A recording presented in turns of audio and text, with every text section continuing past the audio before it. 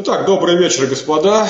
А, всех рад приветствовать на нашем вебинаре, посвященном новому слову в технологиях Windows Server, а именно контейнеризация в Windows. Меня зовут Соколов Михаил. Я являюсь, соответственно, штатным тренером а, центра специалист, ну и также являюсь а, действующим инженером, занимаюсь всеми теми технологиями, по которым веду курсы в центре специалист. И, соответственно, делаю периодически вебинары. Вот на прошлом вебинаре я обещал сделать э, вебинар, посвященный контейнеризации. И вот, наконец-то, я э, с радостью его представляю. То есть вопросы возникали. Вот о контейнеризации говорилось э, достаточно давно и, соответственно, о open source проекте, с которым также связан Microsoft, в котором активно участвует Microsoft и портирует э, этот продукт на свою систему. Э, речь идет о продукте Docker. Но ну, Docker это одновременно и проект open source, и, соответственно, это платформа. Платформа для э, разработки, создания, управления контейнеризованными приложениями. То есть упаковка приложений в контейнеры с целью, с целью их изоляции и с целью облегчения процесса разработки. В этом плане для разработчиков очень полезно и интересно э, тестирование и, главное, развертывание. То есть нет необходимости инсталляции, деинсталляции, установили все это в контейнер и дальше попросту портируем его на любую поддерживаемую систему любую поддерживаемую платформу. Но под платформой в первую очередь подразумевается аппаратная платформа. Да?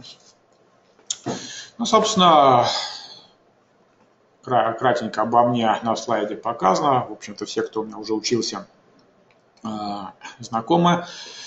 Э, и моя почта для контактов также, также по этому адресу я доступен. Ну, собственно, предлагаю нашу программу разбить на три логических части.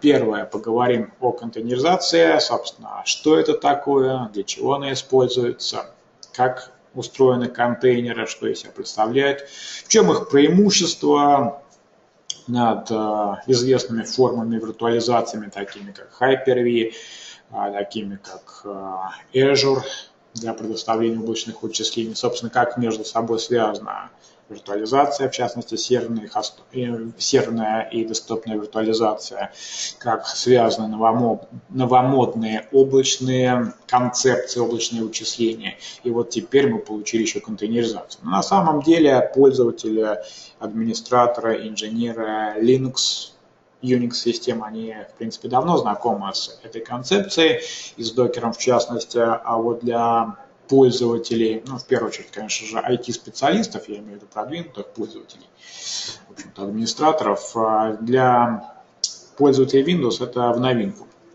Но, тем не менее, все слышали, все слышали, начиная с Technical Preview а, третьего, где впервые, в общем-то, эта концепция в более-менее осязаемом виде появилась, улучшилась она в четвертом, и сейчас уже, можно сказать, такое предрелизное состояние Technical Preview 5, техническое превью пятого, э, пятой реализации, пятой версии, а здесь более такое удобная для использования а, вариация.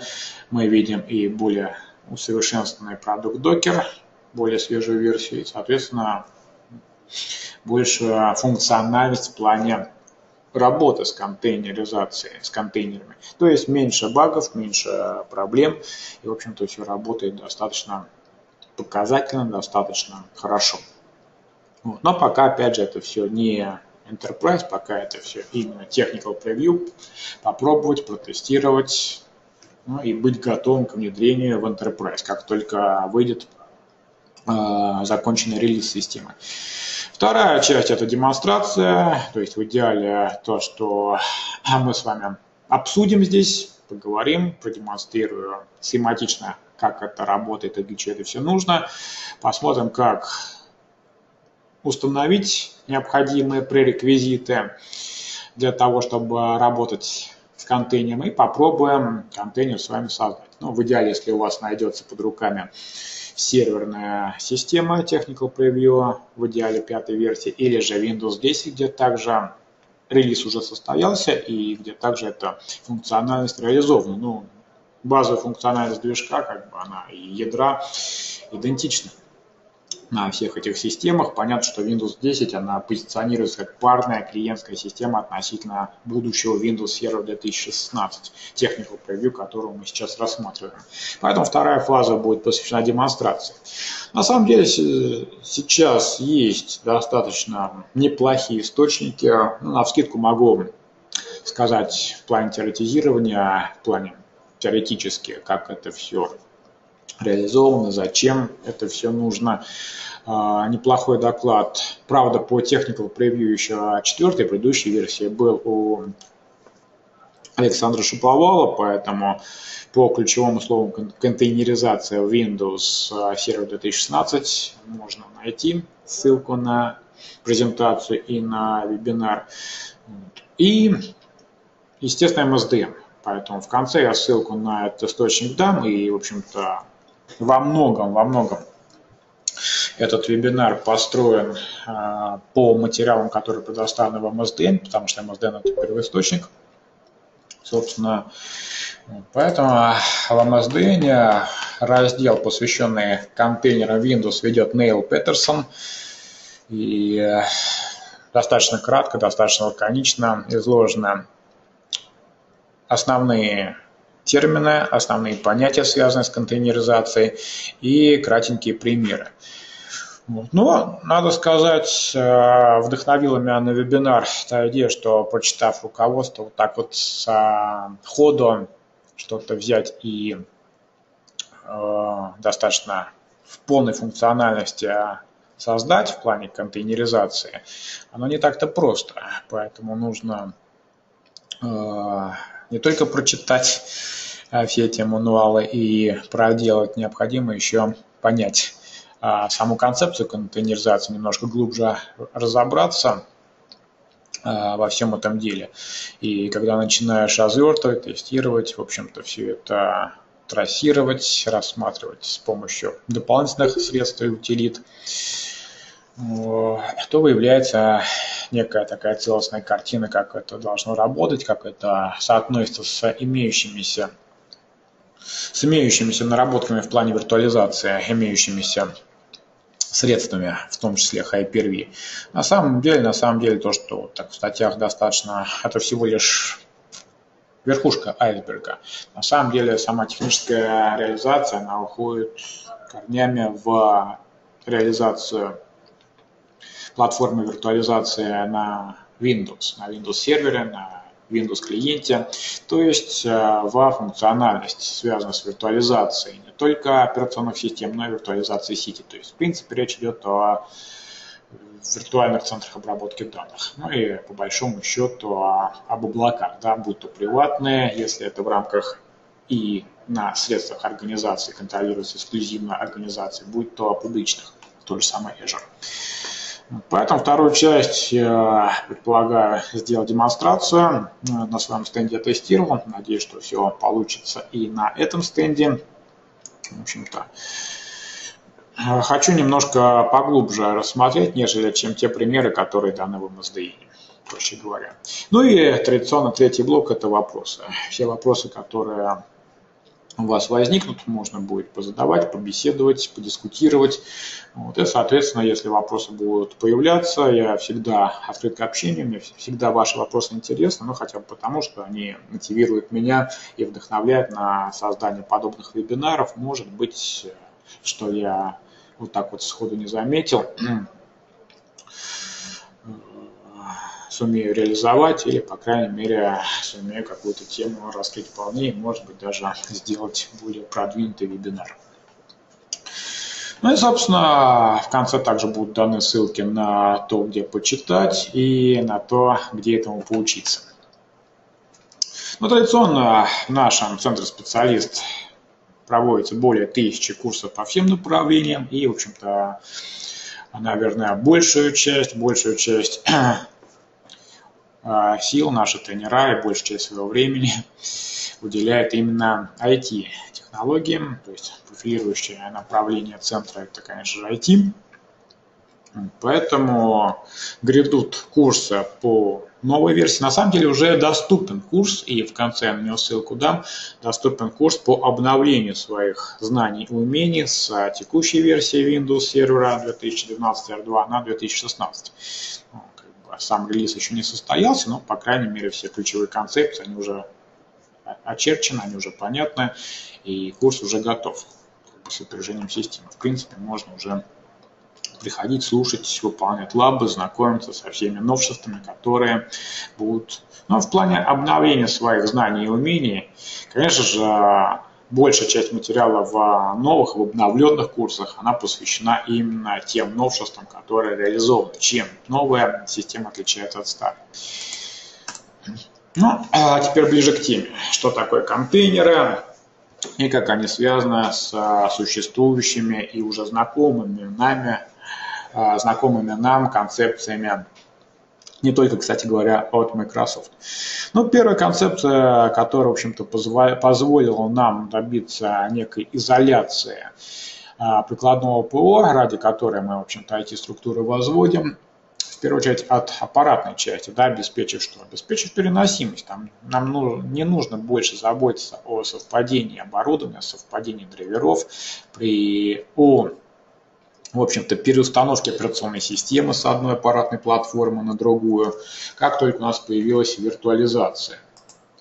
Это первая такая, первый такой прорыв, который, в общем-то, был обусловлен а, внедрением виртуализации, ну и в первую очередь серверной виртуализации Виртуализация позволит нам абстрагироваться от аппаратуры, но тем не менее это не абстрагирование от операционной системы как таковой. То есть виртуализация, да, она позволила на одном оборудовании несколько параллельно выполняющихся операционных систем запустить. Соответственно, если нам нужно было изолировать одно приложение от другого, мы прибегали к этому подходу. Но для изоляции приложения, вдумайтесь, нам необходимо было что? Нам необходимо было поставить целиком и полностью операционную систему. Ну, изначально, когда у нас была программная виртуализация, накладные расходы тратились на программную среду, обеспечивающую виртуализацию, потом на поверх нее развернутую виртуальную виртуализированную гостевую систему – что, в общем-то, усиливало нагрузку на вычислительные мощности, и без того, в общем-то, слабенькие на тот момент, ну, относительно существующие, конечно же. Поэтому следующий прорыв – это аппаратная поддержка виртуализации, это гипервизоры. То есть некая прослойка, тонкая-тонкая софтверная, которая обеспечивала VMBus, шину виртуализации, да, для того, чтобы не для того, чтобы, собственно говоря, виртуализировать доступ к поддерживаемым устройствам, поддерживаемым хостовой системой устройств.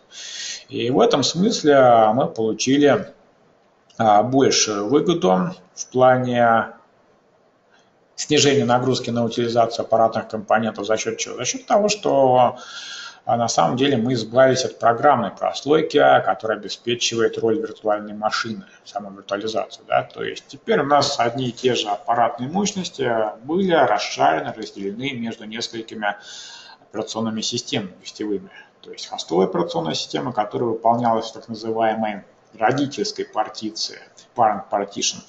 А, в общем-то, она и поддерживала ту часть гипервизора, которую мы называем VMBus, шина виртуализации, да, которая обеспечивала общий доступ к гостевым операционным системам наряду с хостовой к одним и тем же аппаратным ресурсам. В общем-то, сама виртуализация была и на, на самом деле до сих пор поддерживается аппаратом.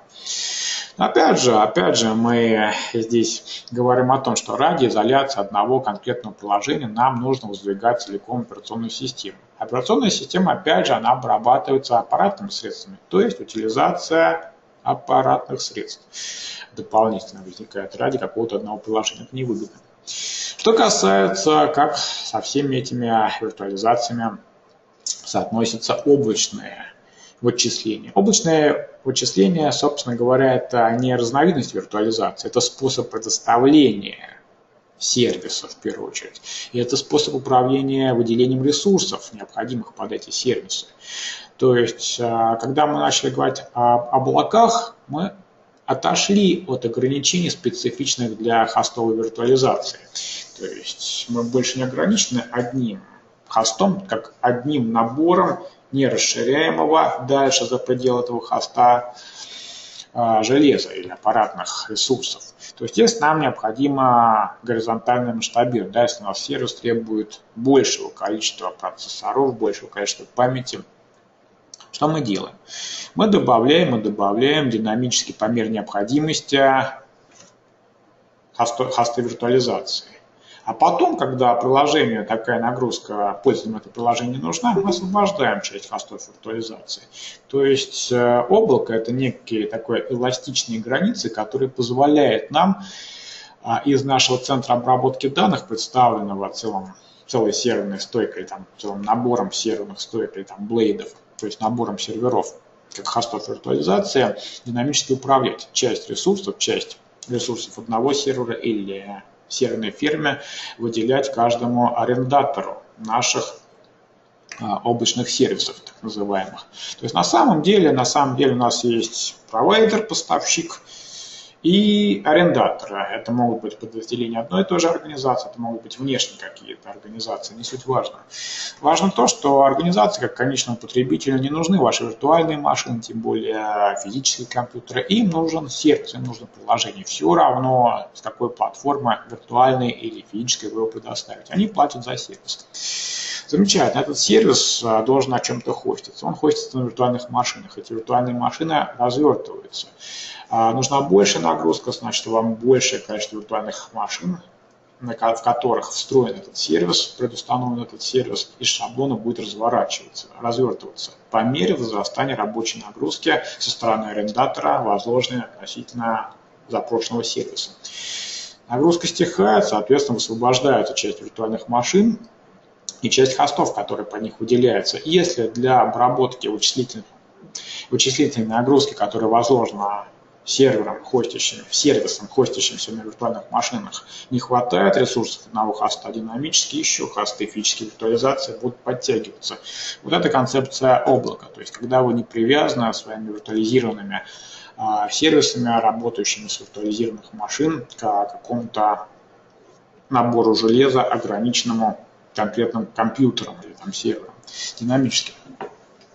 Можно все это расширять или сужать и, соответственно, абстрагировать конечного пользователя от реализации, от сложности реализации ваших сервисов. Они могут быть многоуровневые. То есть они видят конкретный, конкретное приложение, конкретный сервис.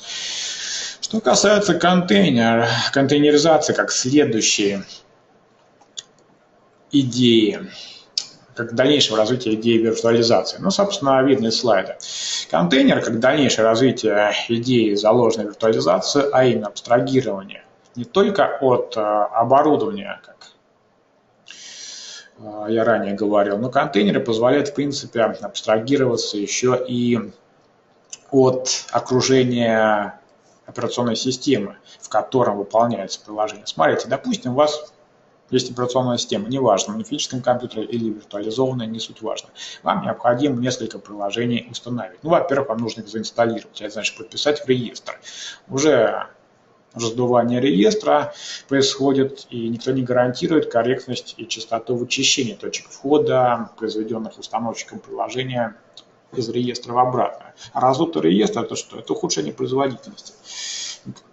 Никто не гарантирует отсутствие конфликтов между несколькими приложениями, которые конкурируют за одни и те же ресурсы. Ну, да, у Microsoft было промежуточное решение.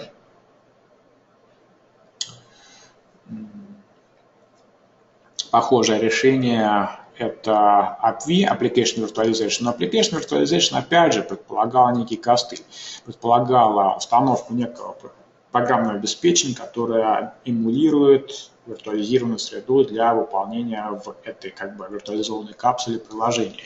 Еще это дополнительное преобразование приложения, захватывая в эту среду специальным секвенсором, то есть дополнительные накладные расходы. Здесь этого нет. Здесь э, мы абстрагируемся от систем каким образом? Мы каждое приложение можем запускать в некой изолированной среде выполнения, ну, которую обозвали контейнером. Соответственно, нам нет необходимости прописывать э, точки входа этого приложения в реестр хостовой машины. Э, приложению, по сути, нужна функциональность ядра, через которую она взаимодействует и с системой, и с программным, и с аппаратным обеспечением. Поэтому, по сути, контейнер – это некая среда, у которой есть свой изолированный э, слой ядра, то есть доступ к общему ядру на самом деле изначально, и свой отдельный от других контейнеров, отдельный от хостовой системы реестр, куда прописывать точки входа, а, которые обеспечивают что-то вроде интерфейса или прослойки для взаимодействия с экземпляром операционной системы, куда этот контейнер, куда этот контейнер с приложением установлен. Ну, по сути, как-то так. Соответственно, контейнер позволяет реализовать и контейнер является по своей сути операционной средой для запуска приложения с целью изоляции этих приложений. То есть приложение может работать, не оказывая воздействия на остальную систему, на хостовую систему, поверх которой а, установлен контейнер, и не подвергаясь при этом воздействию со стороны этой системы. И никак не взаимодействуя с другими контейнерами или средами, замкнутыми, изолированными средами исполнения на этой же хостовой системе. Если у нас э, взаимодействие с системой, в общем-то, ограничивается только взаимодействием с ее ядром, то ничто нам не мешает без э, переустановки самого приложения, приложение, которое установлено на самом деле в контейнере, вместе с этим контейнером попросту перенести на другую платформу, на которой запущена такая же система, которая тоже умеет поддерживать на уровне ядра эти самые контейнеры, которые видит и понимает контейнеры. То есть система видит контейнер, а контейнер обеспечивает приложение взаимодействия а, с теми компонентами, реализованными в этом контейнере системы, которые необходимы в приложении. Ну и, собственно, обеспечивает возможность переносимости между поддерживаемыми аппаратными платформами. Я делаю специальный акцент на аппаратными платформами, потому как, а, потому как приложение, приложение зависит от ядра конкретной системы. У вас, а, в принципе, не бывает приложений, которые могли бы работать под разными системами в единой компиляции, как бы кроссплатформенное приложение. У вас может быть одно и то же приложение, но написанное с учетом возможностей и с учетом API предоставляемыми операционной системы Windows, и так, этим же разработчикам приложение может быть написано с учетом API, который реализует взаимодействие с ядром Linux, например. Это разные компиляции. Да? А, вы не можете компиляцию Windows запустить на Linux и наоборот. Я думаю, это очевидно. Вот поэтому контейнер, контейнер, он позволяет, собственно говоря, осуществить привязку к ядру конкретной операционной системы. Вот и все. То есть между системами, которые имеют на уровне ядра поддержку контейнеров и имеют, в общем-то, ядро специфичное для приложения, под которое писано приложение, без проблем контейнеры переносятся. То есть между разными компьютерами под управлением Windows Server 2016 контейнер с приложением будет переноситься, но это приложение в контейнере не будет перенесено на ядро Linux, например. Да, на... Хотя Linux тоже поддерживает контейнер, тоже поддерживает докер. Это аппаратные проблемы. Ну, главное, чтобы а, системы хостовые исследования, на них, на них можно было поставить. Если хостовая система аппаратуру поддержит, то и контейнер без проблем туда-сюда будет переноситься. То есть в контейнер драйвера, учитывающие специфику каждого конкретного компьютера, не нужно ставить. Зачем нужны контейнеры? Ну, из вышесказанного, я думаю, понятно, в отличие от похожего сценария с применением виртуальных машин для изоляции программного обеспечения контейнера, используют общее с хостовой системой ядро и, соответственно, библиотеки типа DLL, не требуя дополнительных расходов, связанных с утилизацией ресурсов выделенной виртуальной машины со своей копией операционной системы. Зачем вам телеком операционную систему городить ради поддержки приложения – да, который нужно установить на такую же систему. как и хостовая. То есть хостовая система, куда, в принципе, на которой может работать приложение, которое хочу от нее заизолировать. И родневая целая еще одна копия операционной системы, которая сама по себе требует что? Процессорных мощностей, пространства памяти, пространства на диске. Но с точки зрения просто рядового обывателя, да, у которого один компьютер, ну ему ладно, там ресурсов столько, что ему не страшно, как бы их не жалко, он все равно не израсходует.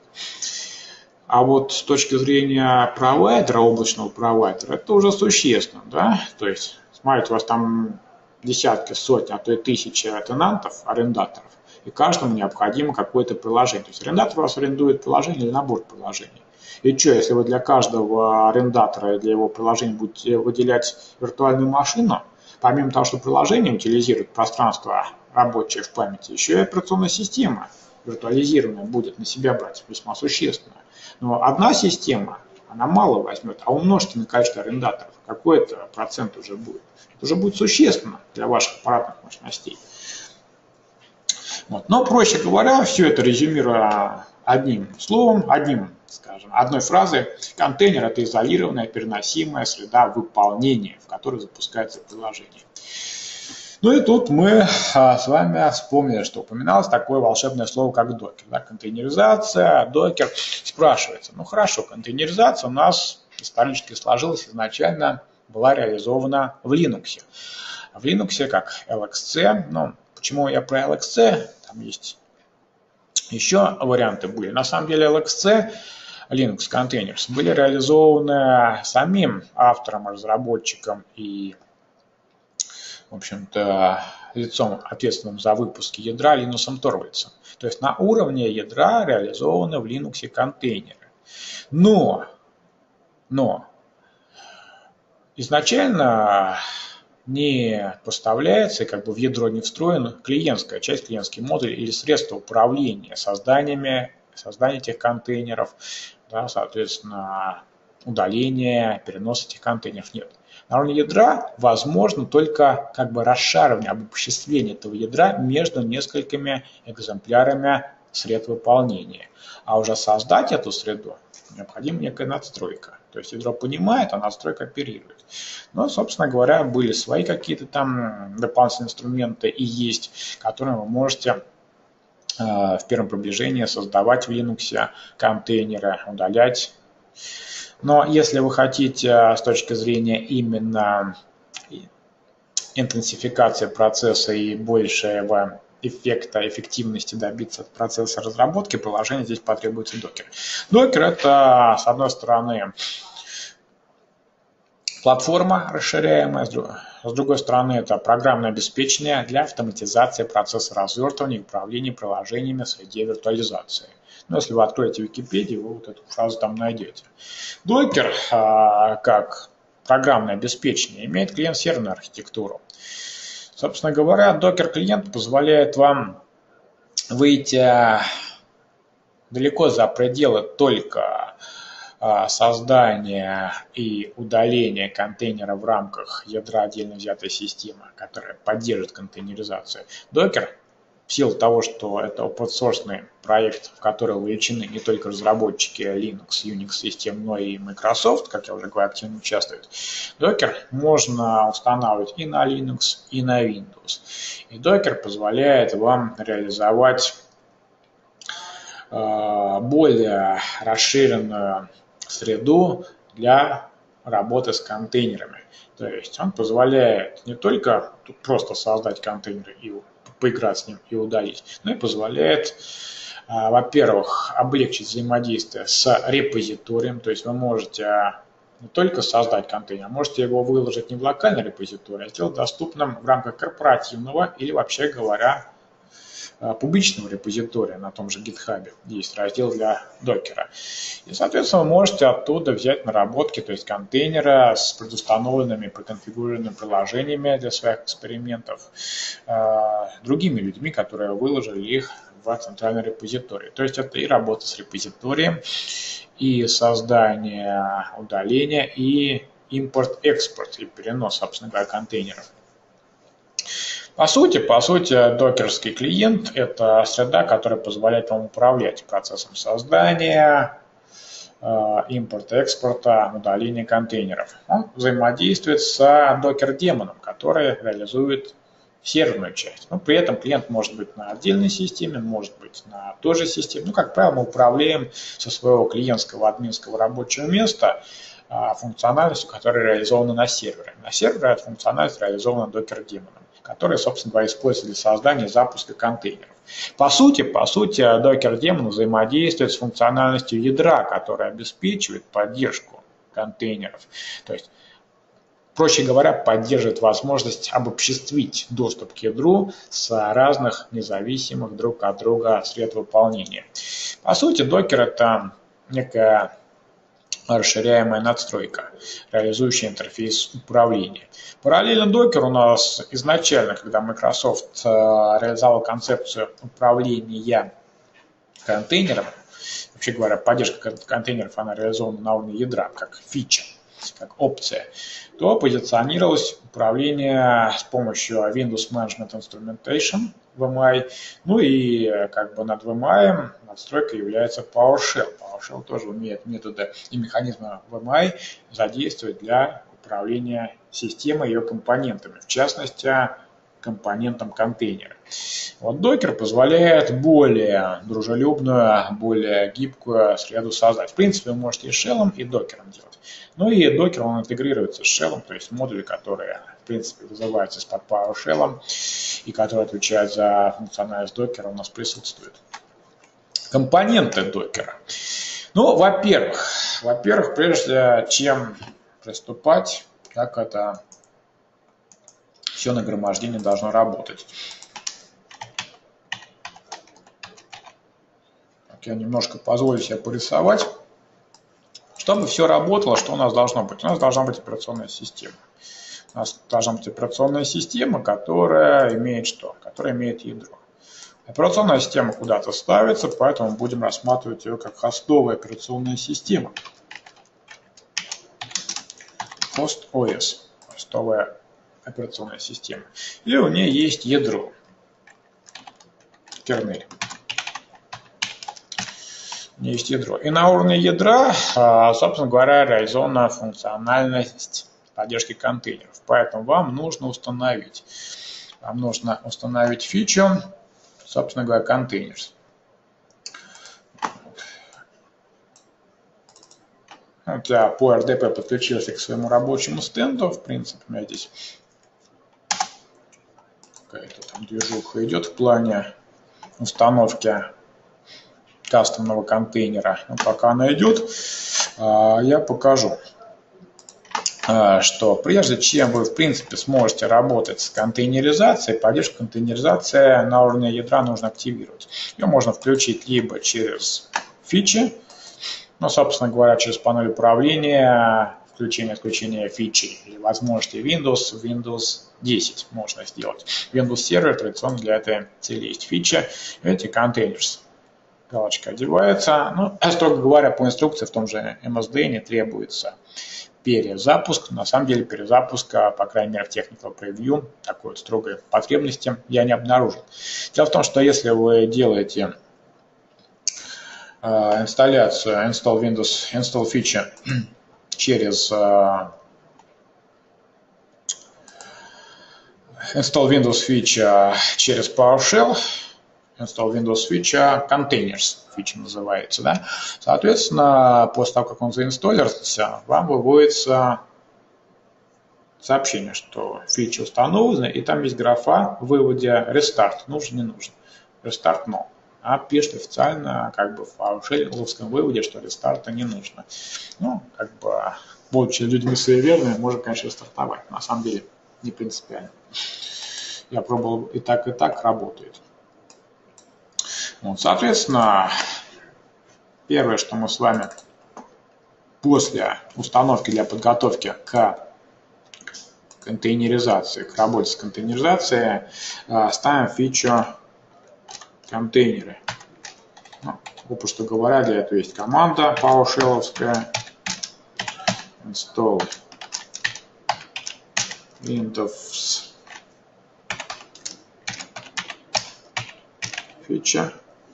И эта фича обзывается, как вы уже видели, containers.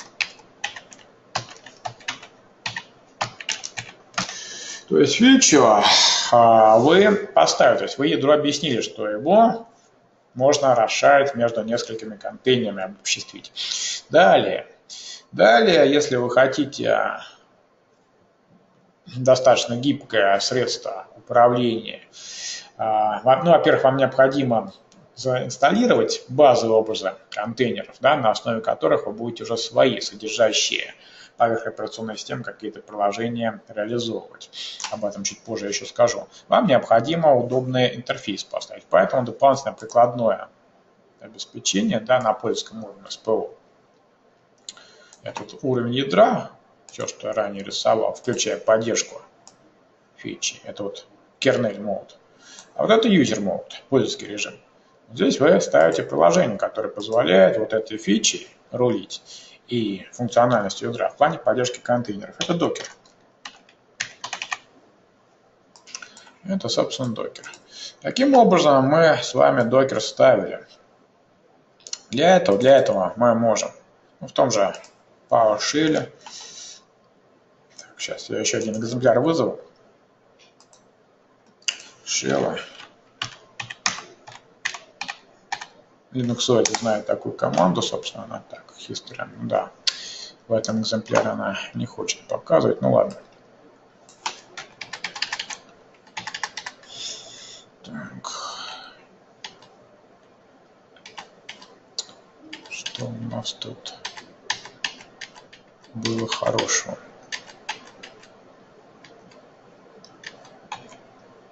Так, ну, собственно, мы можем сначала скачать докер.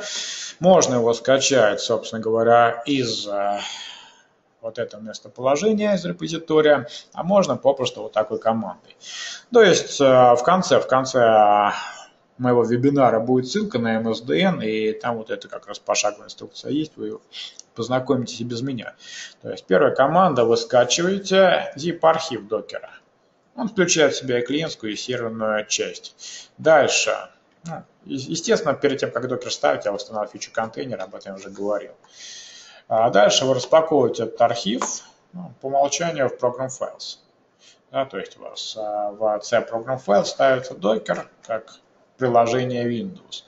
После чего, после чего вы переменные среды создаете. Но если вы хотите вот здесь в Shell, в Shell, в PowerShell интегрировать и указывать докеровские команды, то есть отсюда они должны видны, как слово докер должен быть виден через переменные. Поэтому вы вот такую вот э, конструкцию пишете. Она тоже есть в MSDN, то есть в самом-самом начале. Это тоже секретом не является. Для того, чтобы с этого момента вы могли увидеть докеровские команды и управлять ими, вроде Docker Image, да, через uh, PowerShell, вам необходимо, чтобы PowerShell перечитал обновленные переменные. То есть вам нужно его закрыть, exit сделать и открыть по новой. Вот после этого, после этого у вас уже будут доступны доступна работа с докером. Ну, собственно, установили вы докер после того, как распаковали пакет zip файл и соответственно после того как вы прописали переменные среды вы можете зарегить зарегистрировать этот самый докер э, как Windows сервис. Как Windows сервис. Ну чтобы в оснастке в оснастке вот в этой вот сервисы где у нас там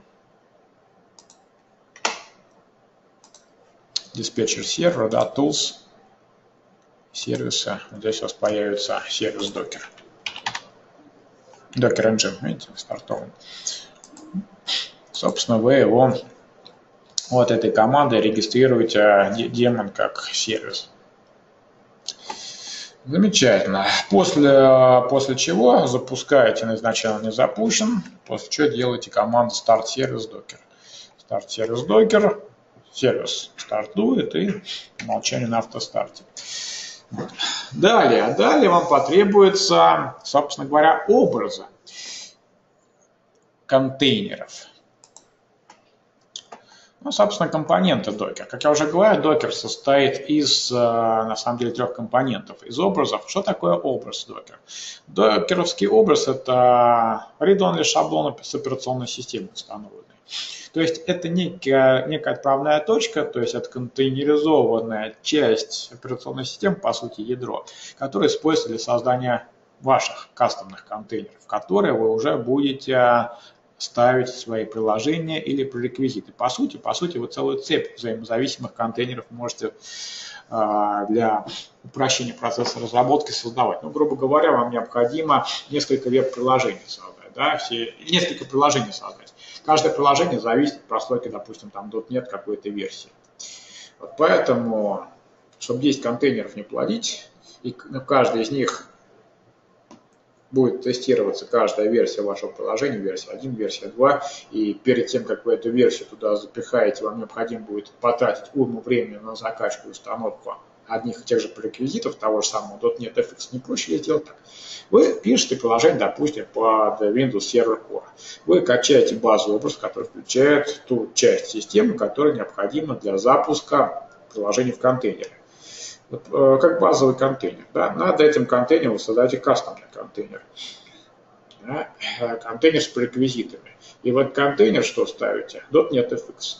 Все. А дальше, а дальше вы создаете контейнер номер один с приложением, которое application 1, версия 1, да, которое требует .NET FX. И э, запускаете его как контейнер, зависимый из-под контейнера с предустановленным .NET FX, который в свою очередь является контейнером, производным от контейнера с базовой операционной системой Windows Server Core. Так вот. Application 2, или там Application 1 версия 2, становится в контейнер, но чтобы не ставить туда пререквизиты .NET FX, вы вспоминаете, что у вас есть ниже лежащий контейнер, да, э, в который уже установили .NET FX. Поэтому привязывайте к уже существующему контейнеру с пререквизитом. Второй контейнер с приложением. То есть вы сокращаете себе уже время на развертывание по реквизитам. Вы просто делаете контейнер, который привязывается к контейнеру уже существующему со всеми реквизитами, которые необходимы. Это, эту цепь, она может быть без явных ограничений. Удобство в разработке. Ну, собственно говоря, эти шаблоны вы должны установить. У вас две системы, два ядра поддерживаются. Да? Это Server Core и. Nano Server чуть позже об этом об этой вариации еще более урезанная версия операционной системы, нежели чем Server Core. А, я скажу, но для сравнения, для сравнения у вас Server а, Core занимает порядка там 2,5-3 гигов, а сервер Core, а, это сервер Core, да, а Nano сервер, Nano сервер занимает там буквально порядка там сотни мегабайт или там нескольких сотен мегабайт.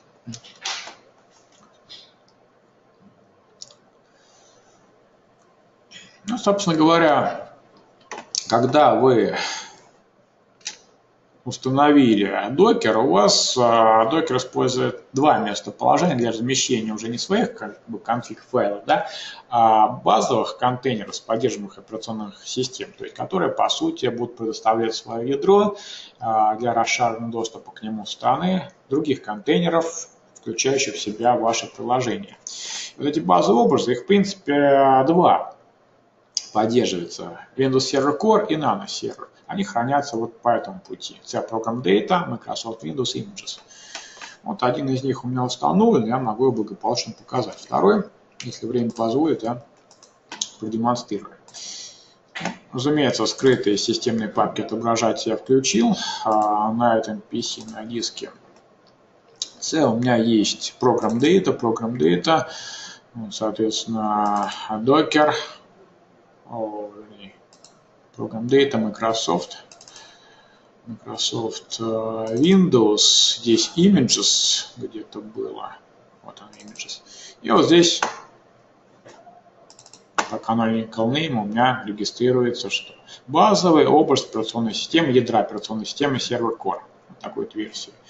И, собственно говоря, а, сам по себе контейнер со всем его запчастями, он хранится в виде VHDX файла.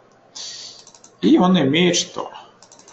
кроме файлов базовой операционной системы, видите, Program Files, да, то, что Core содержит, версия операционной системы контейнеризованная, он содержит также файлы, которые туда могут быть привнесены, и он содержит hives. Что это такое? Ну, по сути, ули реестра. Ули реестра, да, в которых прописываются изменения, связанные с конкретно рабочей средой этого данного контейнера. Сами контейнеры. Сами контейнеры это то, что у вас над базовым образом создается. Чтобы было несколько понятно, демонстрирую. Докер как средство управления контейнеризацией поставили. С этого момента, с этого момента ну, вы еще один компонент ставите, на самом деле диспетчер, который позволяет с а, репозитория что-то забирать, что-то выкладывать, то есть диспетчер пакетов. А, он позволяет нам в первую очередь создать а, базовый, установить базовый образ. Вот базовый образ, на самом деле, их два, они предоставляются корпорацией Microsoft.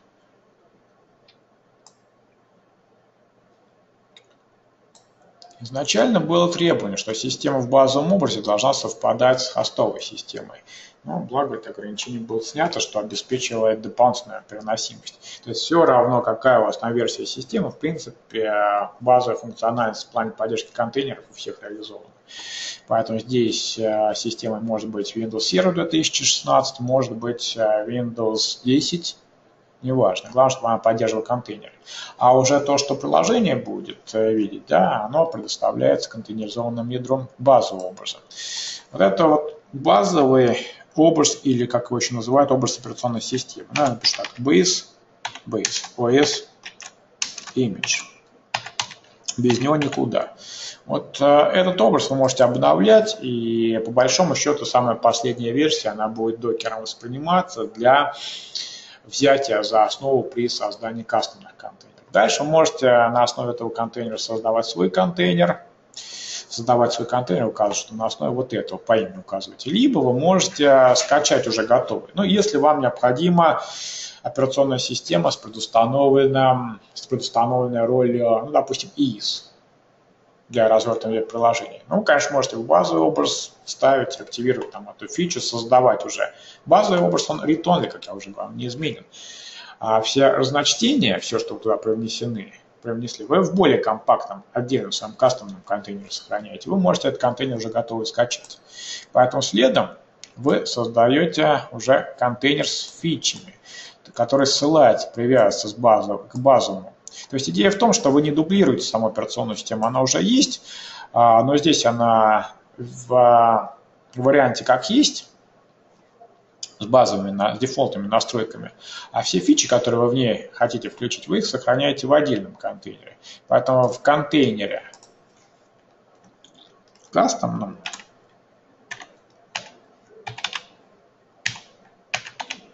который вы, создатели, скач, скачиваете, вы ставите, допустим, сюда EIS.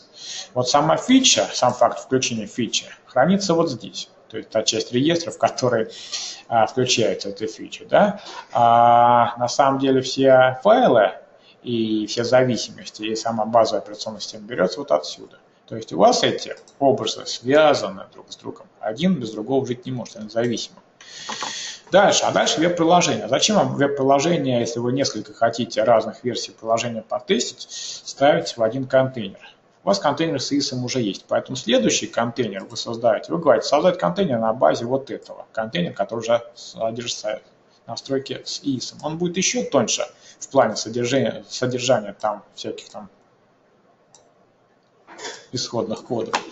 И вот в этот контейнер а, вы уже ставите веб-приложение. Веб-приложение, веб-application, один, да, который ссылается, ссылается на IS, установленный в базовый по отношению к нему контейнер. Дальше в Web Application 2 вы можете тоже еще один контейнер создать, который также будет ссылаться на контейнер с предустановленной службой IS. Чувствуете, вам повторяющиеся действия не нужно делать. Рай для разработчика.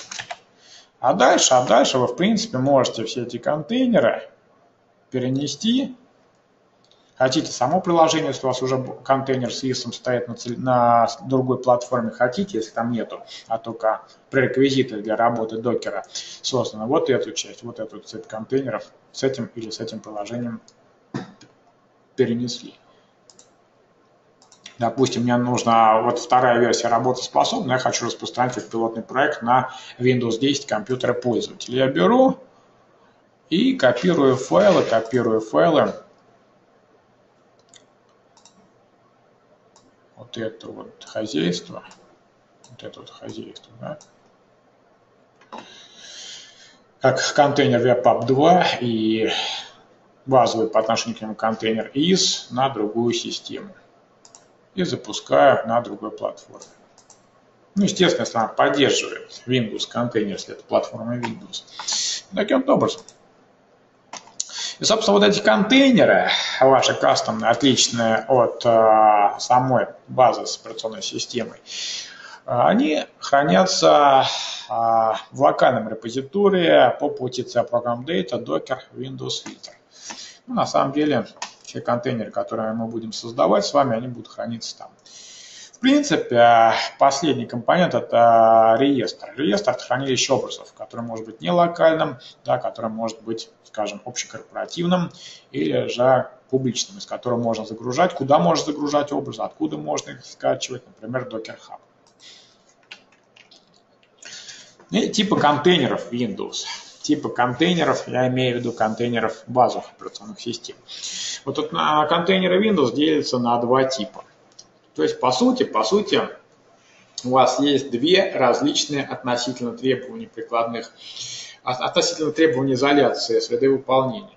То есть контейнеры могут быть э, запущены без виртуализации э, Hyper-V, да? это просто контейнер, который контейнер Windows Server. Ну, по сути, контейнер Windows Server позволяет несколько рабочих сред, которые обобществляют одно ядро базовой хостовой операционной системы.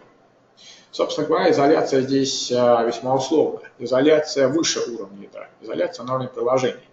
Но приложения и сервисы, да, если приложение запускается как сервис, например, сервис у нас через, через что взаимодействует друг с другом? Через ядро. Поэтому технически ничто не мешает сервису из контейнера 1, имеющее ядро, взаимодействие, например, остановить, убить сервис, работающий там в контейнере 2 потому что на уровне ядра они все видны. Вот, поэтому, когда нам не обеспеч... необходимо обеспечить, например, из соображений большей безопасности или там изоляцию на уровне сервисов на уровне ядра, мы можем виртуализировать ядро. Но по сути, по сути, а, контейнеры Hyper-V это как бы контейнеры, которые, а, по сути, это виртуальные машины, которые маскируются под контейнеры. А создается служебная виртуальная машина. Служебная виртуальная машина, а, которая используется для поддержки виртуализированной копии ядра. То есть у вас не одно ядро расшаривается, а несколько независимых копий ядра. Но смотрите, виртуализировать только ядро точки зрения утилизации памяти, процессных мощностей и дискового пространства а, гораздо проще, чем виртуализировать целиком операционную систему. То есть оно меньше а, места занимает и в памяти, и на дисках, и на процессоре. То есть, по сути, по сути, с точки зрения контейнеризации, это как бы условность. На самом деле у нас нету контейнера Windows Server или контейнера Hyper-V. У нас есть просто контейнер как среда выполнения. А вот контейнер Windows Server или контейнер Hyper-V – это способ запуска. Проще говоря, ничто не мешает мне создать контейнер изначально как Windows Server с возможностью расшаривания ядра хостовой системы, а потом решить, что не хочу расшаривать ядро, и запустить его в виде виртуализованного, над виртуализованным ядром, да, в виде виртуалки, но урезанный, урезанный до, до масштабов ядра. То есть, проще говоря, по-русски, существует два способа запуска контейнера либо без виртуализации, как Windows Server контейнер, либо как Hyper-V. То есть у вас для запуска обычного контейнера в режиме изоляции Hyper-V в отдельной выделенной виртуальной машине, как виртуализированная копия ядра, а не общее расширенное ядро, используется всего лишь параметр минус-минус isolation равно Hyper-V. Ну, понятно, что Hyper-V должен быть включен. Причем хочу заметить, что контейнеры вы можете, можете а, запускать как на физическом компьютере, на системе, установленной на физический компьютер, так и на виртуальной машине.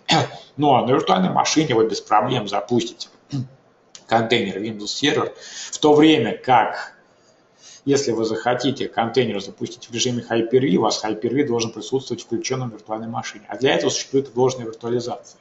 Начиная с Technical Preview 4 она поддерживается. На самом деле Technical Preview она поддерживалась, там главное, чтобы процессор поддерживал это все дело. Technical Preview 5, не знаю, чем обусловлено, в принципе, позиционирую, что в конечном релизе это все будет, а, у вас выводится сообщение, что в этом релизе ложная виртуализация на самом деле не поддерживается. Ну, видимо, где-то что-то просмотрели. Таким образом, чем вот эти два режима запуска контейнера отличаются? Смотрите, у вас есть хвостовая система, у нее есть ядро.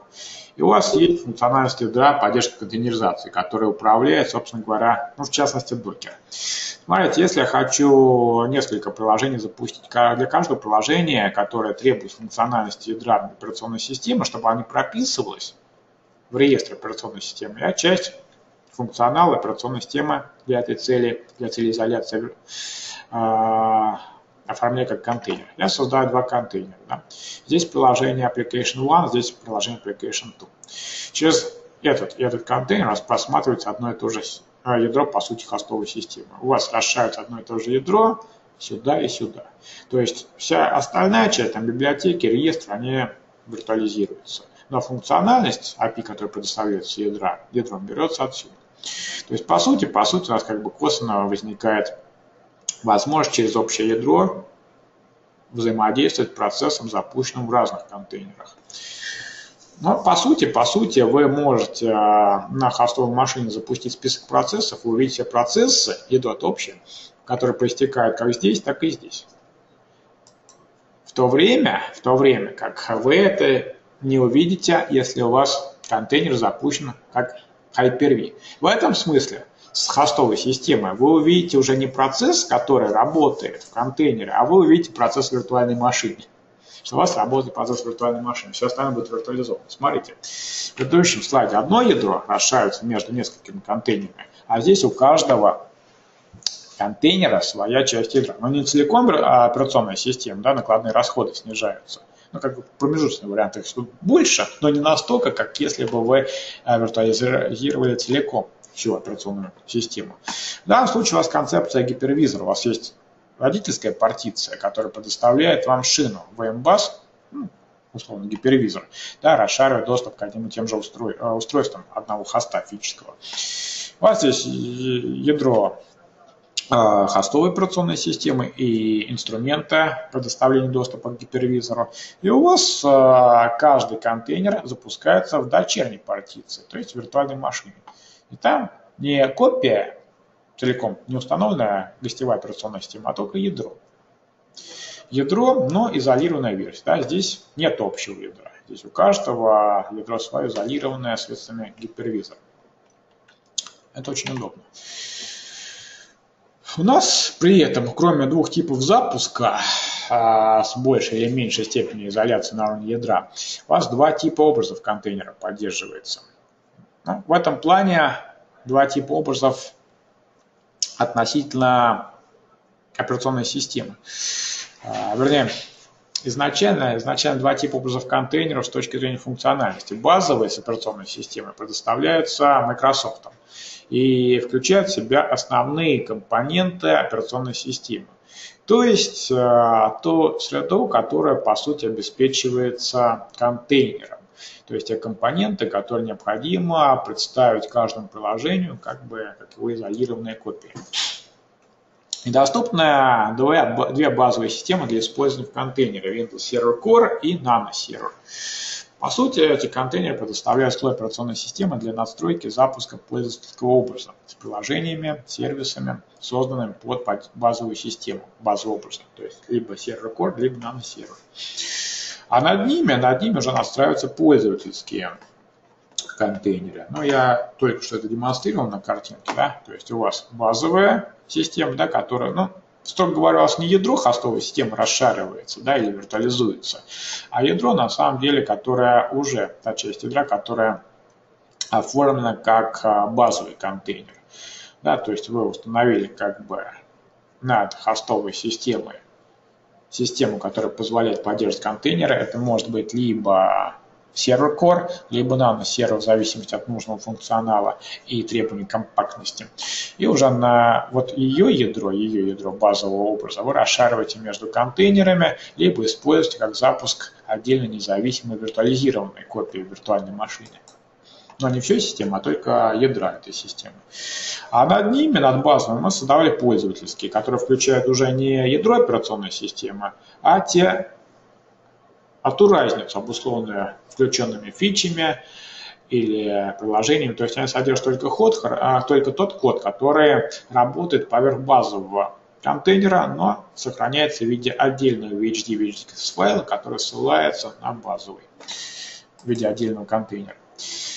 Почему у нас а, появился наносервер, да, что это такое и почему, собственно говоря, ну, наносервер мы, в принципе, можем независимо от контейнера. Я уже говорю, что контейнер – это кусок операционной системы, либо Windows Server, э, либо Windows Server Core поддерживается, либо наносервер.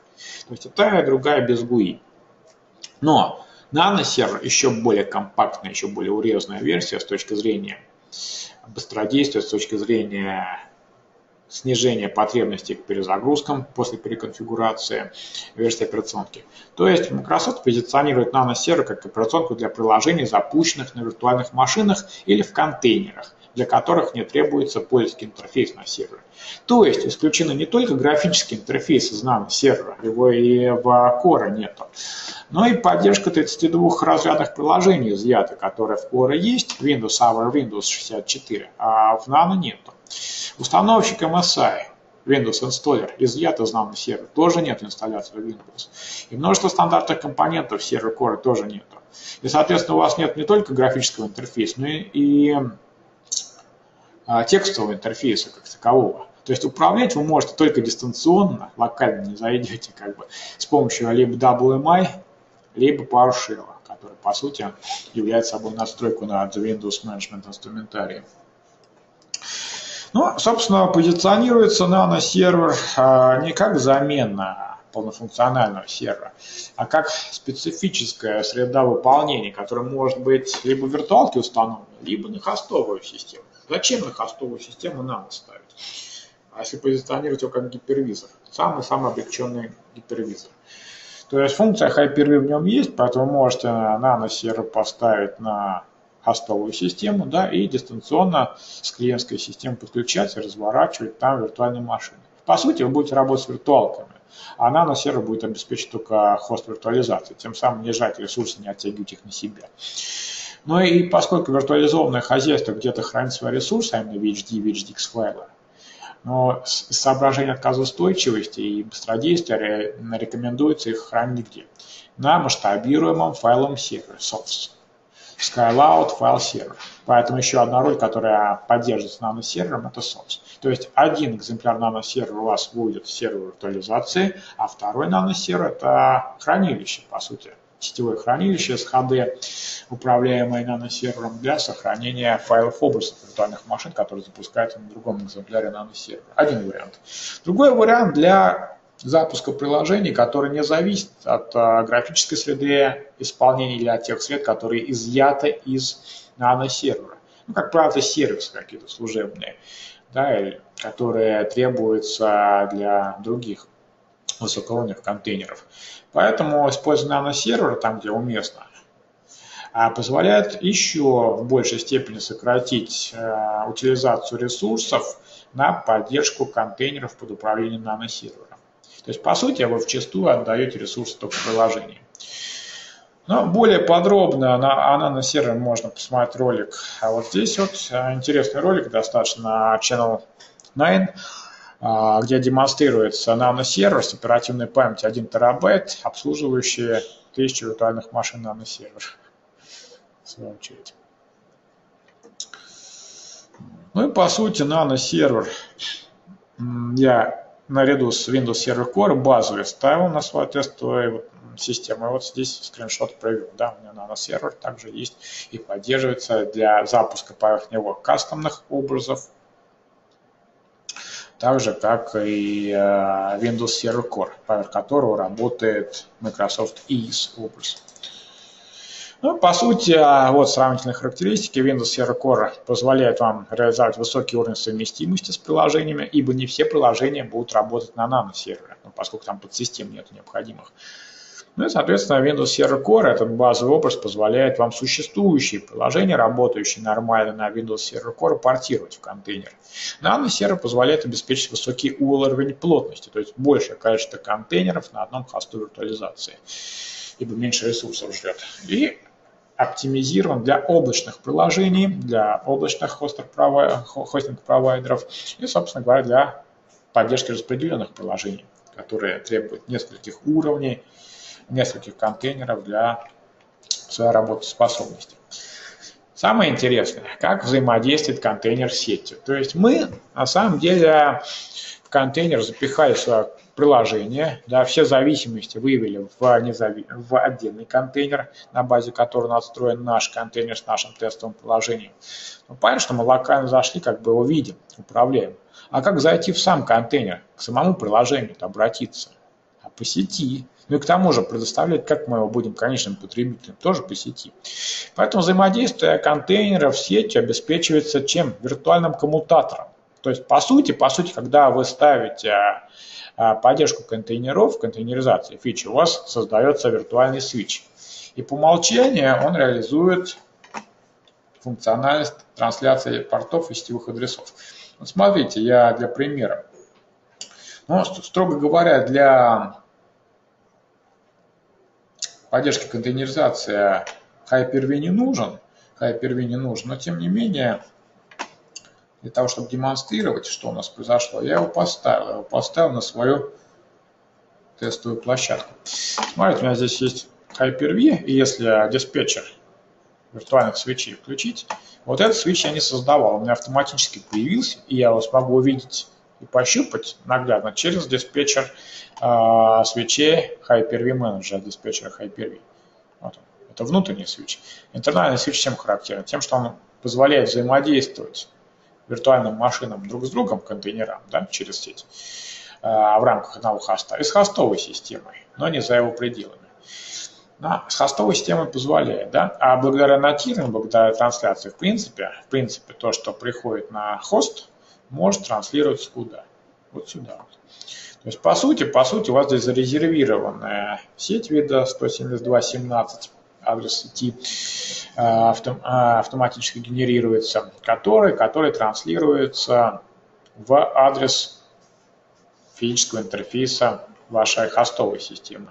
Поэтому, когда вы, допустим, не поднимаете службу из с дефолтным веб-сайтом на хостовую систему подняли в контейнере, при обращении на 80-й порт по адресу а, вашего физического хоста, вы пробрасываетесь куда? В контейнер. По умолчанию 80-й порт, но уже на адресе 172.17 а, на контейнер. Если у вас также сайт дефолтный по умолчанию развернут на хостовой системе, чтобы не было конфликтов, вы можете переопределять порты. Вы можете сказать, запустить контейнер с сопоставлением портов.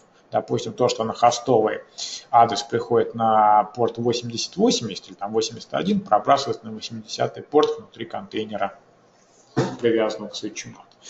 Ничто не мешает нам выпустить э, виртуальный контейнер, так же как виртуальную машину, наружу. Поэтому кроме НАТО, ну, понятно, что трансляция, она для небольших сред хороша. Если большие, то накладные расходы будут, в общем-то, тормозить производительность. Поэтому здесь есть вариации на тему. Ну, собственно, в отношении сетевых подключений контейнеры Windows функционируют аналогично виртуальным машинам через виртуальный свич. В каждом контейнере имеется виртуальный сетевой адаптер, который привязывается к виртуальному коммутатору и поддерживает 4 режима работы этого виртуального свеча. По умолчанию это NAT, о нем я уже сказал. Есть прозрачный режим, когда каждый контейнер подключается к внешнему виртуальному коммутатору и через его посредничество соединяется напрямую с физической сетью, в которой приходит хост. Ну, собственно, IP-адрес может быть назначен либо статика, соответственно, вы можете э, зайти и с помощью PowerShell назначить, или же при создании контейнера. Или динамически с внешнего сервера DHCP. Ну, собственно, режим маста самый такой наверное, актуальный. Режим моста второго уровня или режим коммутатора второго уровня.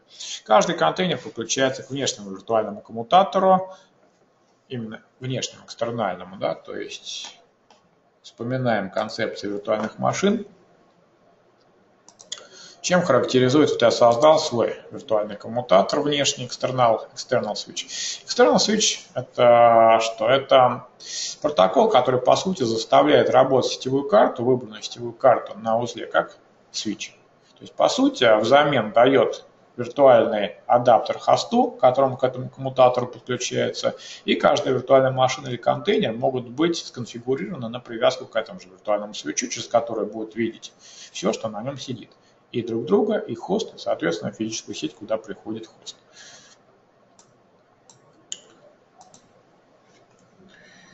Трафик между двумя контейнерами, которые находятся в одной IP сети и запускаются на одном хосту виртуализации, передается напрямую через этот свич. Ну, то есть они все на одном свече сидят, да, вот один сегмент.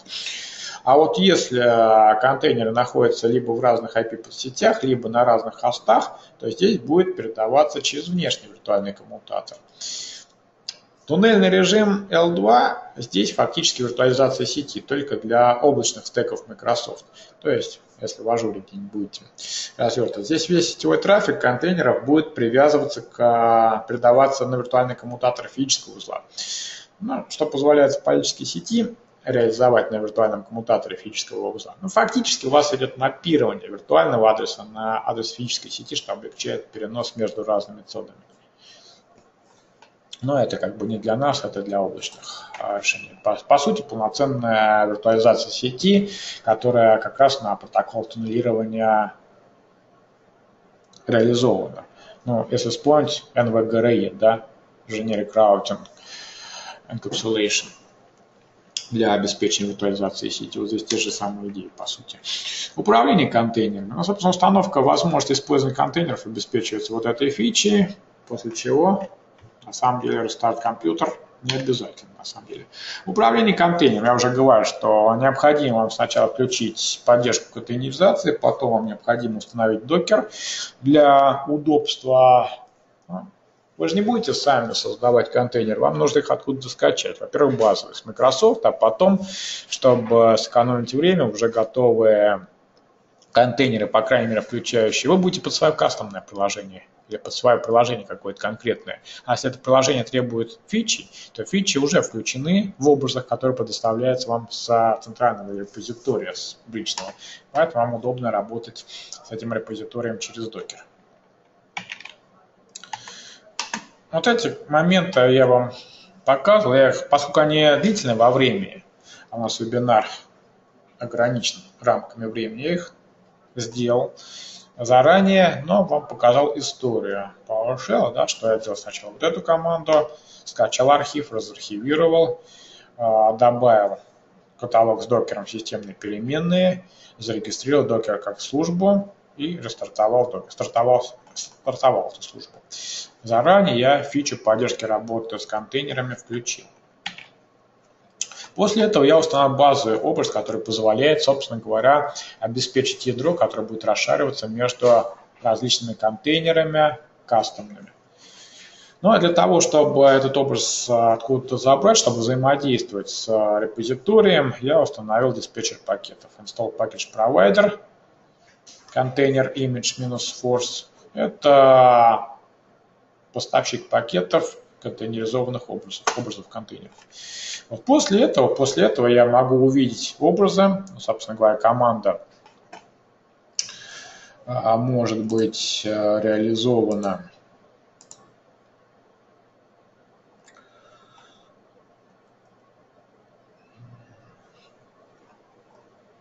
Для поиска образов для начала, ну, вообще говоря, Docker Search, Docker Search Microsoft позволяет майкрософтовские образы с репозитория отобразить, выбрать по имени понравившийся и дать команду на установку. Ну, собственно, после того, как я поставщик пакетов образов установил, я могу простой команды, то есть он привносит набор командлетов, блок командлетов, в частности install container image. Я могу указать по имени, версию не обязательно указывать, он последний возьмет. Если я хочу под свое приложение использовать ядро Core, я скачиваю контейнер с ядром Windows Server Core как базу. Если хочу Nano, скачиваю Nano сервер. То есть здесь меняться будет name Windows Server Core или Nano сервер. После установки базы образа, чтобы он перечитал доступные установленные образы, перезапускаем службу Docker, Restart, и Docker Image возвращает список установленных образов. После чего, после чего базу образа установили, но мы хотим приложения какие-то стать. Приложение цепляется каким-то фичам, которые мы можем в отдельном, общем для всех этих прикладных контейнеров, контейнеры привнести. Ну, например, мы настроенные фичи можем сохранить на контейнере, который будет привязываться к базовому и включать возможность этого базового контейнера, точнее операционной системы туда закатанной как, например, контейнер, содержащий из. Для поиска образов контейнеров Windows в Docker Hub мы выполняем команду docker search Microsoft. Я продемонстрирую. Она даже где-то должна была быть.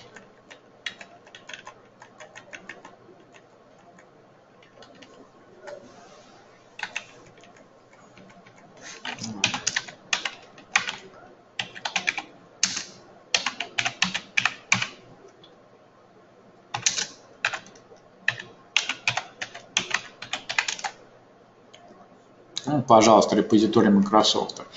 Ну и следом я что делаю? Следом я должен забрать себе образ э, с какими-то пререквизитами. Ну, какими пререквизитами? У меня есть образ установленной службы IIS. Если хочу, потом создавать свой контейнер, который будет э, привязывать приложение к IIS, да, чтобы IIS в каждый контейнер не ставить. У меня есть уже образ с э, наносервером, да, с предустановленным. У меня есть образ с .NET 3.5. У меня есть с SQL образ. Ну, много чего на самом деле есть. С Apache есть, с MySQL, с Python, с Ruby. Что хотите. Но прежде чем я буду поверх базового образа прикручивать образ с фичами, которые относительно базовой операционной системы закатаны в базовый образ сохранены в отдельном выделенном контейнере, поверх которого над этими фичами буду настраивать еще свой контейнер своим приложением, мне необходимо, ну, как бы, чтобы не портить контейнер, сохранить, сохранить контейнер э, с названием версии latest. То есть перед продолжением работы с образом свежескачанные базы образ необходимо пометить как последнюю версию latest. Для этого выполняется э, команда. Ну, во-первых, Docker Image выведет, какие у меня образы в принципе сейчас есть.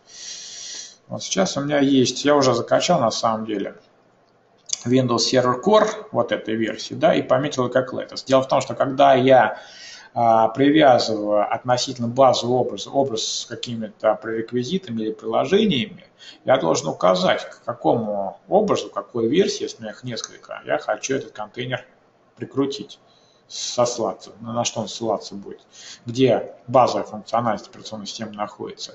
Если я версию не указываю, то по умолчанию он ищет вот это слово. Тег – это тегирование, это просто метка. Ищет метку latest. Поэтому, чтобы обеспечить такую функциональность, я могу выполнить команду. Видите, тегирование. Я могу любой образ основу взять, тегировать, пометить докеровский образ, вот этот Windows Server Core, ранее скачанный, вот этот, меткой Windows Server Core Latest. Да? Название, тег. Изначально название тег был такой, я сделал, так, представил. Да? То есть, а, обратите внимание, идентификатор это один и тот же образ с точки зрения как бы его хэша, его содержимого. Вот. И дальше, чтобы вот этот вот а, этап скачивания поверх этого контейнера, привязка к существующему контейнеру Windows Server Core последней, самой свежайшей версии, а, фичи, которые нужно включить в эту операционную систему, так фичи, их факт включения сохраняется в отдельном контейнере, сохранен Microsoft Teams. Я скачал уже, то есть я не стал свой кастом делать, я скачал. Он достаточно объемный, достаточно объем, ну, достаточно долго занимает э, время скачивания установки, поэтому это заранее делал. Каким образом я его заранее скачал? Я скачал готовый образ с предустановленным IS на основе вот этой базы образа, содержащей операционную систему, которая это фичу может включенное содержать, а включение будет содержаться вот здесь, с реестра Docker Hub. Но для поиска готовых контейнеров, выложенных мы в Docker Hub, я уже использую команду Docker Search Microsoft.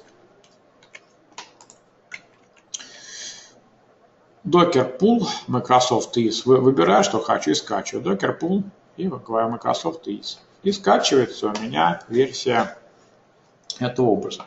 Дальше. А дальше я могу развернуть. В принципе, я могу на основе вот этого ISA свой образ создать кастомный, да, в котором будет какое-то мое приложение. А могу использовать уже этот образ. Но если я как бы не хочу несколько клонов этого образа под э, нужно тестирование, а, создавать, я хочу прямо вот в этой мыси еще его дополнить своим приложением каким-то, не проблема, я могу его запустить. Даже если я хочу на базе этого образа что-то запустить, а, что-то сохранить, создать свой контейнер, для создания своего контейнера я должен сохранить существующее под новым именем, включая изменения. То есть я запускаю вот этот контейнер, делаю там изменения, останавливаю и сохраняю его под другим именем. При следующем запуске оригинального контейнера все изменения, естественно, теряются, но они сохранены под другим именем, как мой контейнер, надстроенный над вот этим контейнером. Давайте посмотрим. Давайте я для начала запущу этот контейнер Microsoft is командой docker run.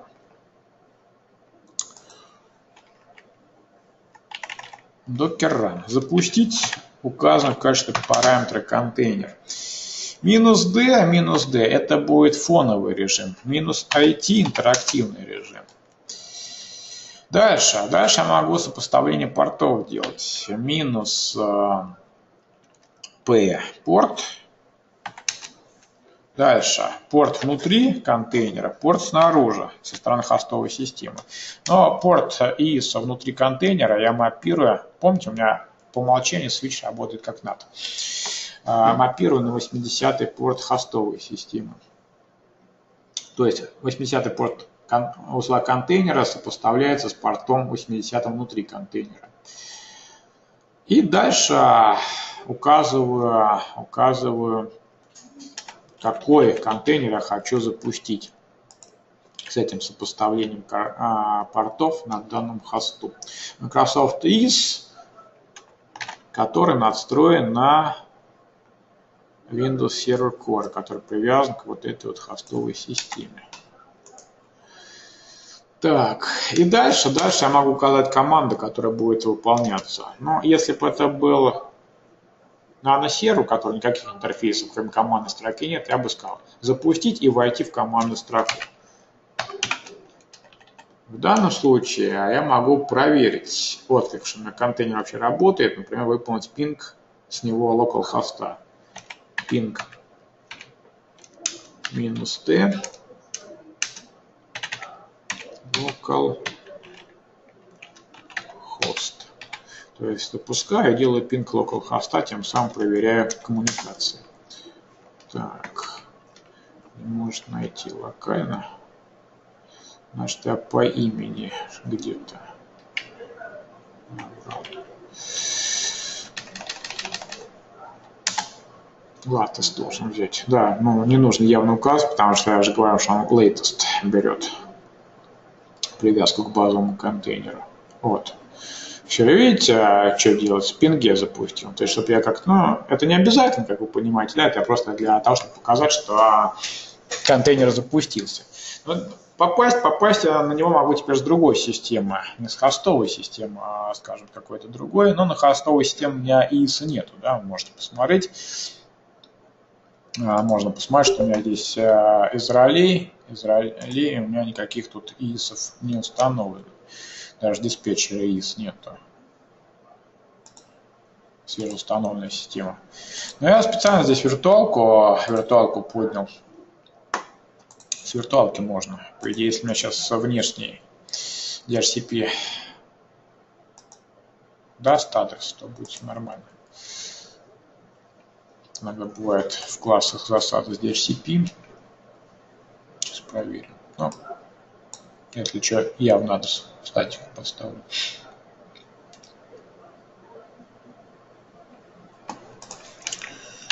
Так.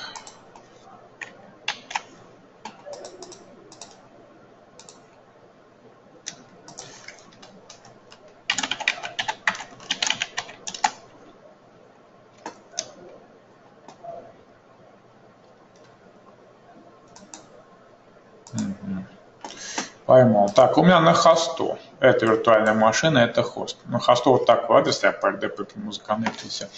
Поэтому я 80-й порт а на этом хосту, если запрашиваю, у меня из сайта никакого нету на хосту, он у меня есть только в контейнере. Поэтому то, что он 80-й порт на вот этот адрес приходит, на самом деле придет вот сюда. Вот.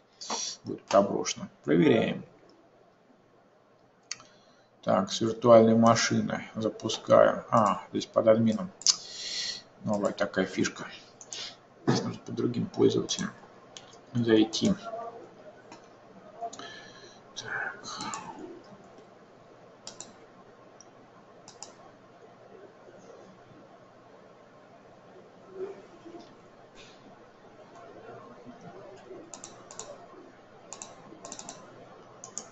Создам новый юзера, пусть будет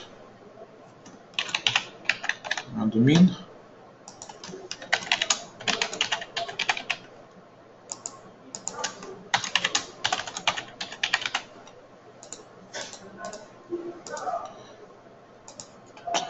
сделаю его сразу членом группы администратора, чтобы потом не переключаться.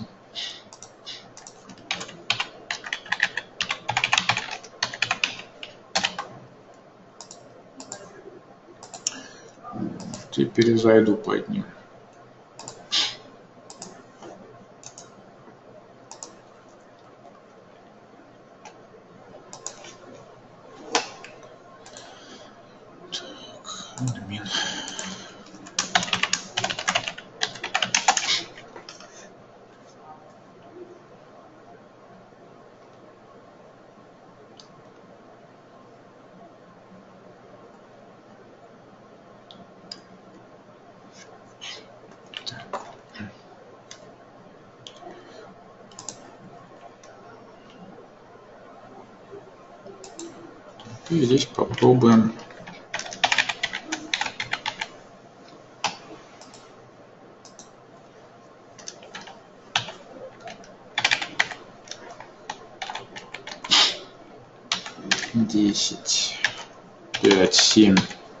2.2, порт, ну, порт 80. Видите? ИИС ответила мне, да. Так. Ну, собственно, собственно, что я могу? Как остановить контейнер? Как остановить контейнер? Ну, для этого, а, соответственно, посмотреть запущенный контейнер посмотреть динамически генерируемое для него имя и выполнить команду docker rm remove-f имя контейнера. Но rm это не удаление контейнера, это удаление запущенного контейнера. Да? То есть контейнер он как бы будет выгружен, на самом деле, снят с исполнения остановлен. Либо можно, если команда строка просто exit, если он в интерактивном режиме запущен. Но здесь как бы он не в интерактивном режиме, поэтому еще один экземпляр PowerShell под администратором и Docker PS. Docker PS выводит, меня что? Выводит запущенный контейнер Microsoft is, да, и какая команда на нем выполняется. И сколько он уже выполняется, да, и какие порты, что на что у меня соответствует. И главное, главное имя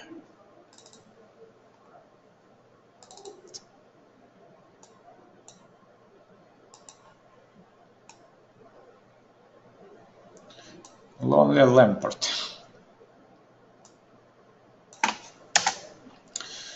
Поэтому следующая команда, которую я буду делать, docker rm.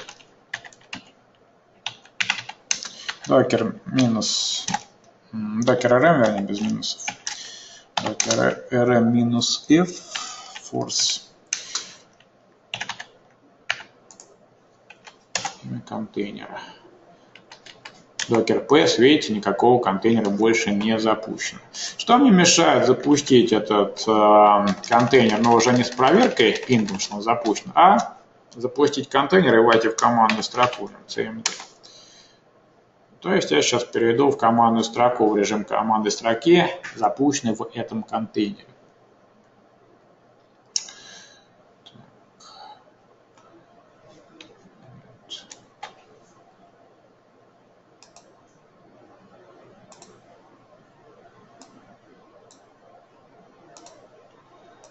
И, собственно, что я там могу сделать? ipconfig.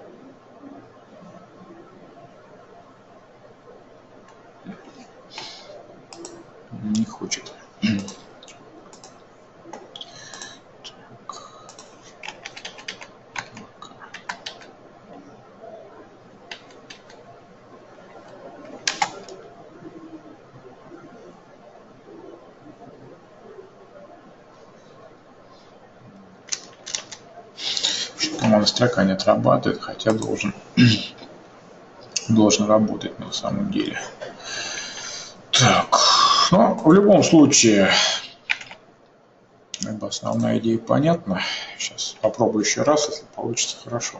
На тестовом стенде пока делал на одном нормально, при переносимости как-то как-то пока пока хромает.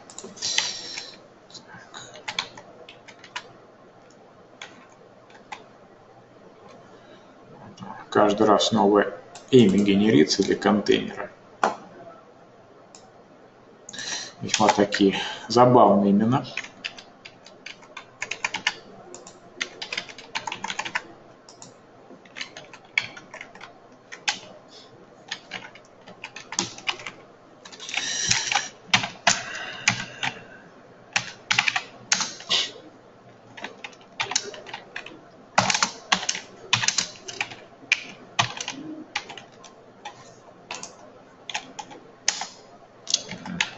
промахнулся. Минус F, естественно. Минус F. Так.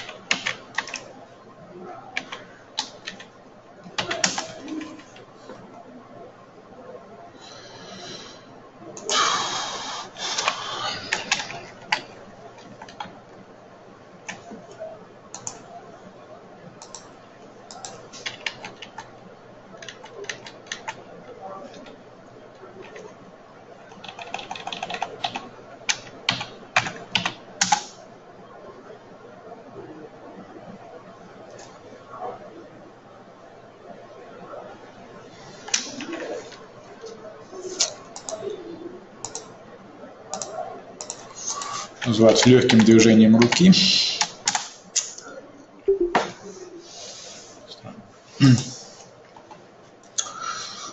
Так.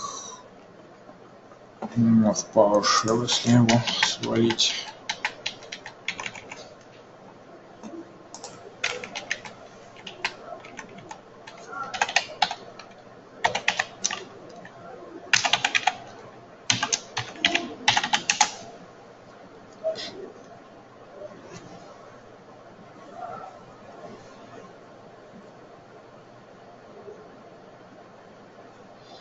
Вот пошел, нормально перешел.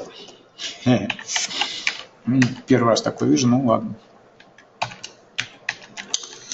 Так, ну, видим, соответственно, что у него сеть 172.19, диапазон 172 сеть под NAT по умолчанию реализована. Вот, и мы можем, а можем здесь а, немножко кастомизировать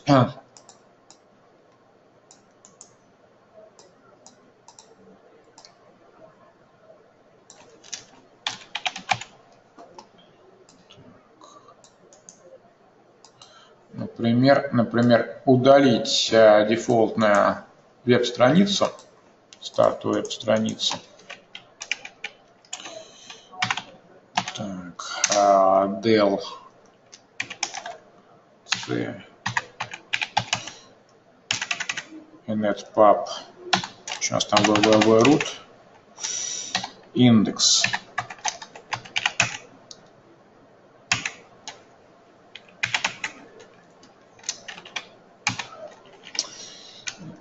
не индекс, она isStart называется isStart HTM.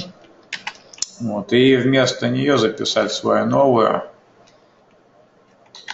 только не какой-нибудь индекс HTML создать файл. Индекс. В принципе, все это дело можно найти в.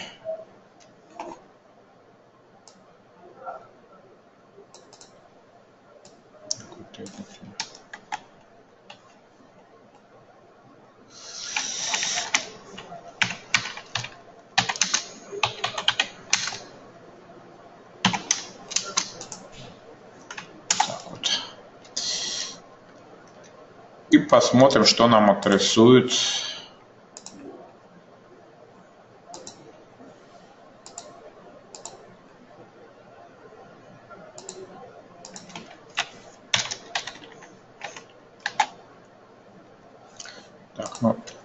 нужно его рестартить.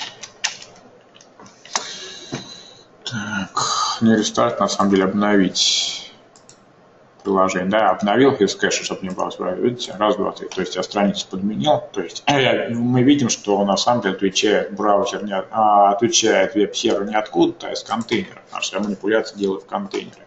Я даже показываю, да, который нотируется в контейнере. По большому счету в MSDN плане кастомизации описан вариант а, автоматической кастомизации. Да, вы можете на самом деле все это в файле а, прописать. Да. Главное, главное, чтобы у вас а, файл был без расширения именно название Docker файл.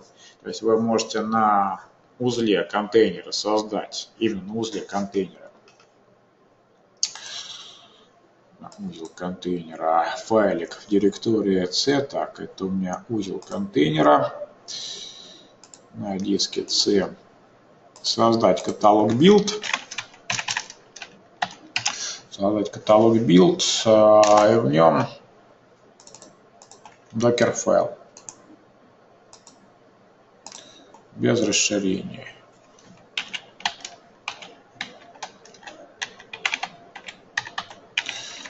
Docker файл без всяких расширений.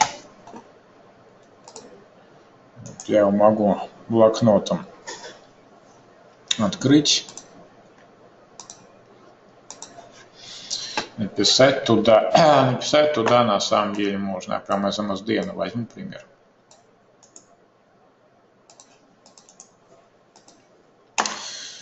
Так, ну, собственно,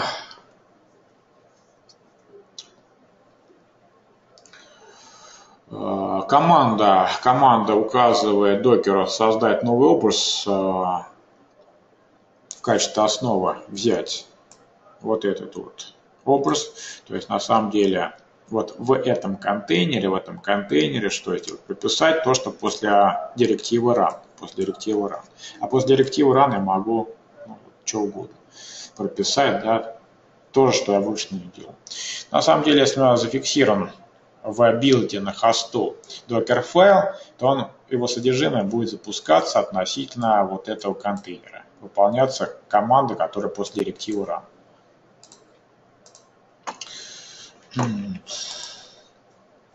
Ну, собственно, для того, чтобы все это дело а, работало, а, нам необходимо а, запустить процедуру создания кастомного образа. Поэтому контейнеры мы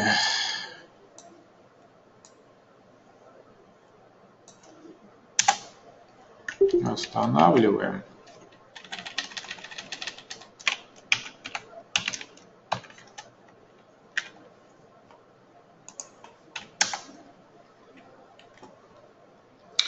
Так, и у нас а, выполняется процедура docker build.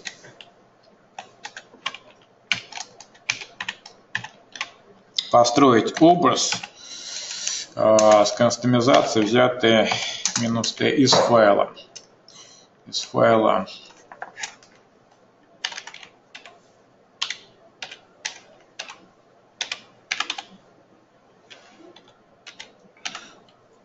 который обзывается C, который находится в директории cbuild. Ну, называется он, понятно, как там, зарезервированное слово. Ну, вот у вас от, а, отыгрывает первая директива, потом вторая директива. Единственное, что он у меня называется по-другому.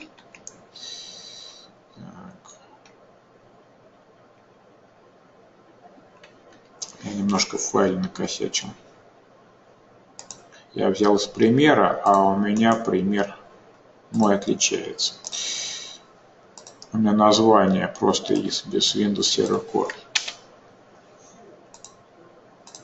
Я его не тегировал. Вот тег latest. Так, поэтому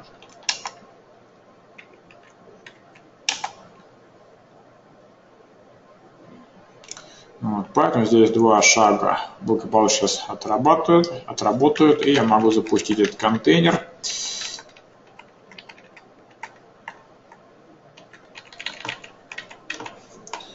Я вот здесь запускал.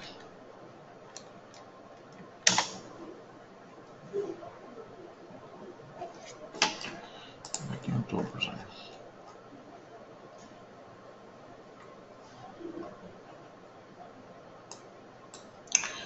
Так, мы его запустили, а теперь смотрим с виртуальной машины результат.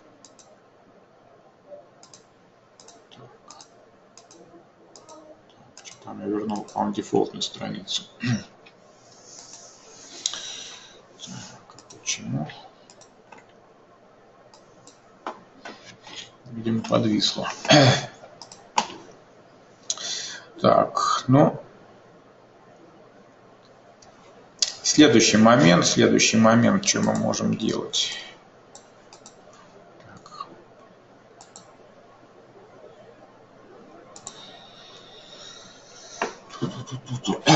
По большому счету я свой кастомизированный контейнер могу, на самом деле не совсем отработала. Должна была прописать, надо посмотреть где-то в скрипте, возможно, ошибся. Так, ну, основная идея понятна, поэтому время пока тратить не буду. Более подробно вы можете, опять же, в настроении посмотреть. Я хочу показать, как кастомизировать. Допустим, мы какие-то изменения здесь сделаем, мы отсюда выходим. Экзитом. И мы можем с этими изменениями свой контейнер сохранить.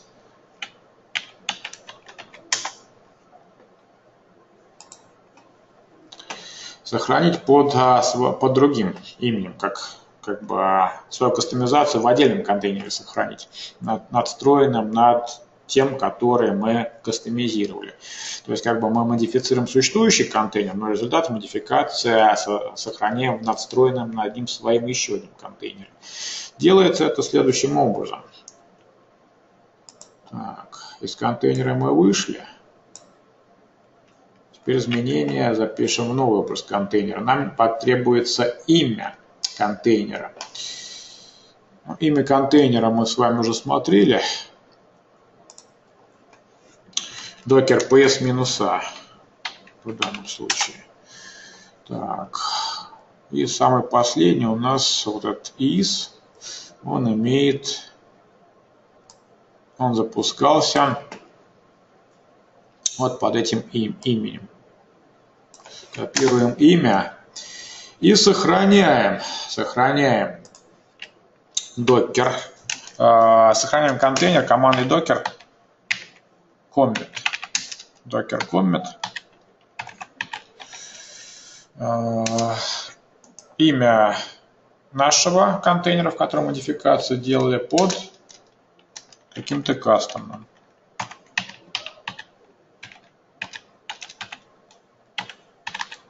названием.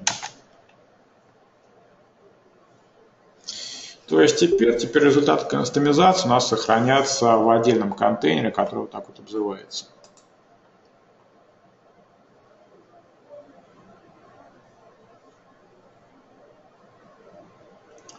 Вот таким вот образом. Ну а в идеале, в идеале мы с вами запускаем контейнер с одной консоли PowerShell, да, а с другой консоли PowerShell смотрим идентификатор запущенного пользовательского контейнера, его имя. Потом возвращаемся в первую консоль, пристреливаем контейнер, устанавливаем и можем использовать команду docker commit для сохранения своей модифицированной версии копии. Но можно имя, а можно идентификатор ID использовать.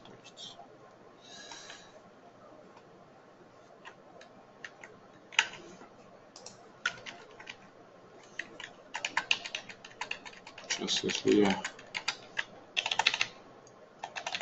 все правильно сделал,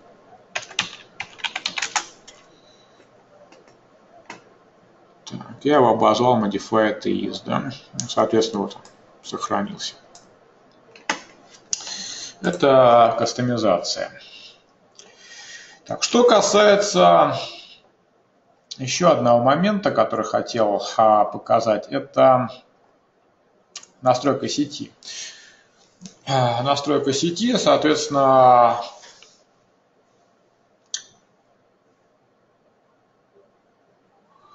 Так, ну для начала мы сейчас посмотрим у нас какие там образы работают, не работают, чтобы все остановить. Docker PS. Так, ничего нету. Так, две консоли. В одной консоли мы должны остановить сервис Docker. Пока сервис стартован, он не даст нам подменить сеть, а, подменить сетевой свитч. Соответственно, стоп-сервер. Вот этого момента, в общем-то, явно в, ну, по крайней мере, на момент создания вебинара я в MSDN не видел. Поэтому описание есть, как пример показывает тестовый. Стоп-сервис докер.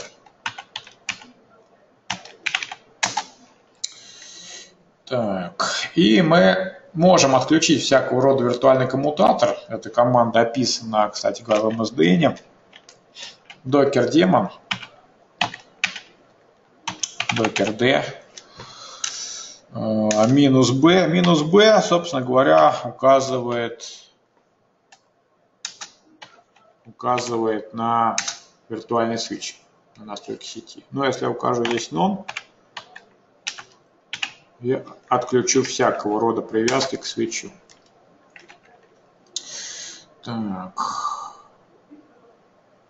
Docker минус B NAT вернет конфигурацию NAT. Здесь отключился второй консоли. Со второй консоли я создаю, допустим, сетку.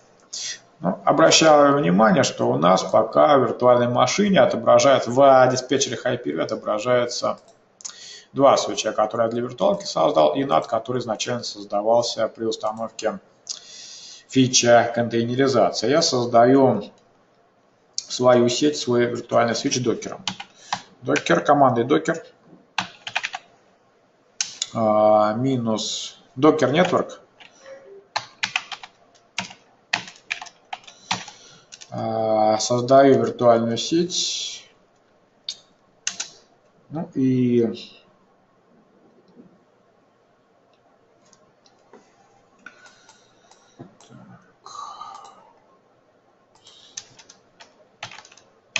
Докер нет.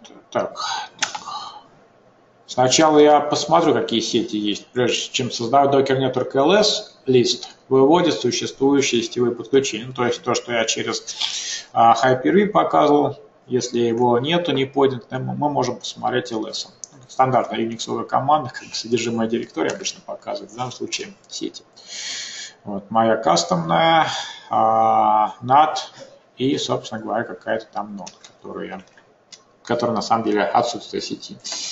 А теперь я могу создать сеть Docker Network Create. Docker Network Create а, создает сеть минус D тип сети L2, L2 Bridge, switch второго уровня, L2 Bridge.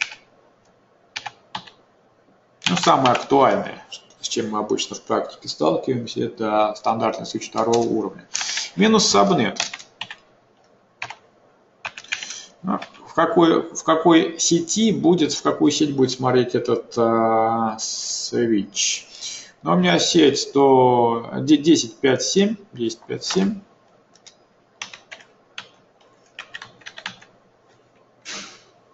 Десять пять семь ноль с маской 24 с маской 24 насколько я помню так шлюз минус гейтвей в, ну, поскольку у меня свечи экстернальный соответственно шлюзом будет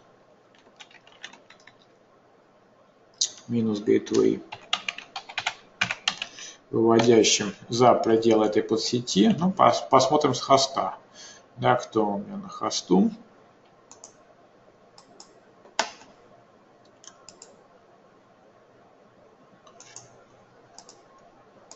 Вот, виртуальный switch, а вот здесь виртуальный адаптер.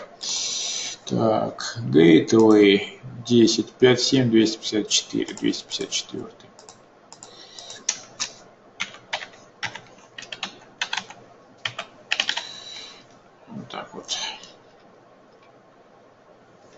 и как-то ее обозвать.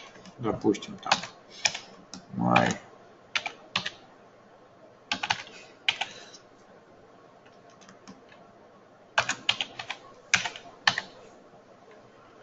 все равно. My Bridge Network. Так, или что это? Gateway Subnet.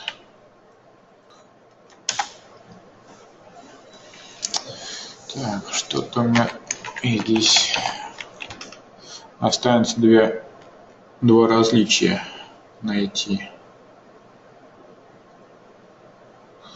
Почему на этой он не работает? Конфликтует, наверное, с виртуалкой. Потому что один экстернальный есть, и он привязан. Попробую, да, возможно. Скорее всего, конфликт с этой. У меня на тестовом стенде было два интерфейса. К одному привязан один в роли виртуального свеча для виртуалки, другой, соответственно, для контейнеров.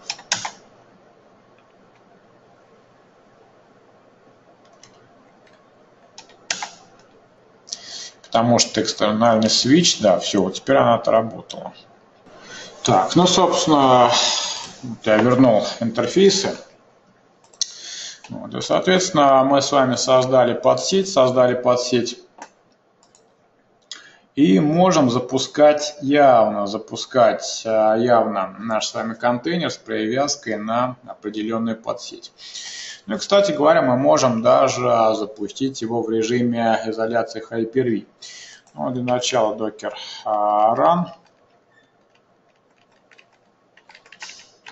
docker run Microsoft какой-то PowerShell, и у меня а, есть возможность после IT еще указать параметр минус-минус нет. И нет я обзывал my. Так вот скромненько. Так. Да, как-то я не учел. Да, у меня name есть мой.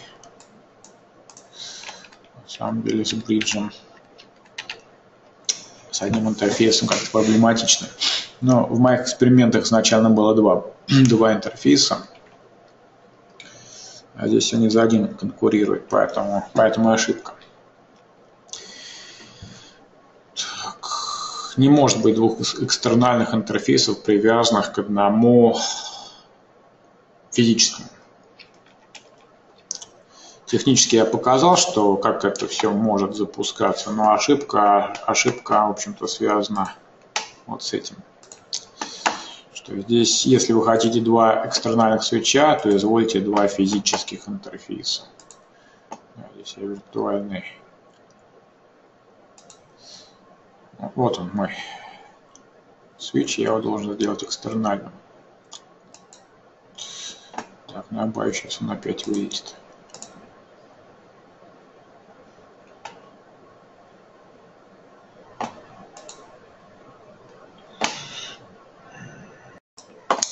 Ну, к сожалению, не судьба здесь на одном интерфейсе что-то сделать. Вообще говоря, на двух интерфейсах нормально работает.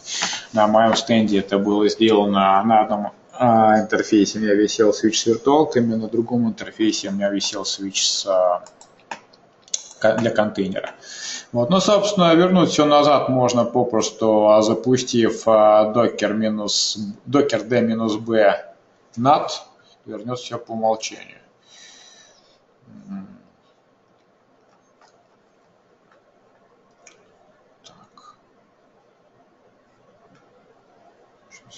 Попробую через дефолт.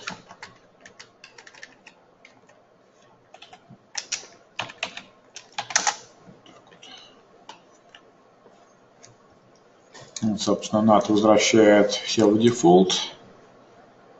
И следующая консоль.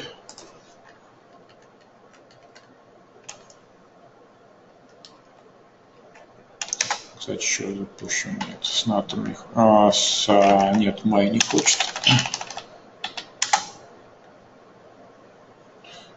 Вот с командой вылетал на проблему.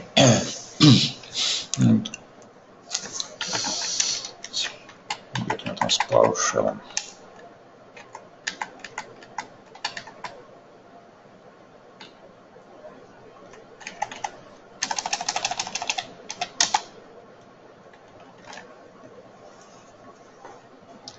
Ну, по крайней мере, как работать сетью я показал. А если у вас выполняться будет требование на предмет э, виртуальных свечей, то есть для каждого экстернального свой выделенный сетевой адаптер, тогда будет работать. По крайней мере, на моем стенде это все благополучно заводилось. Вот я вернул назад в NAT, как видите, работает. Ну вот, собственно, в первом приближении все, что я хотел здесь показать а, в плане развертывания ресурса. Но первым делом я, вот, конечно же, на этот ресурс вас ориентировал. Я его сейчас вам покажу. Вот, собственно говоря, да, как я говорил, Нейл Петерсон вкратце. И про управление сетями, докер, управление контейнерами Windows, сетевые подключения тоже можно подробнее почитать. Но я вам еще и продемонстрирую, как это все создается. В принципе, я смотрю, тут добавлю создание, по большому счету.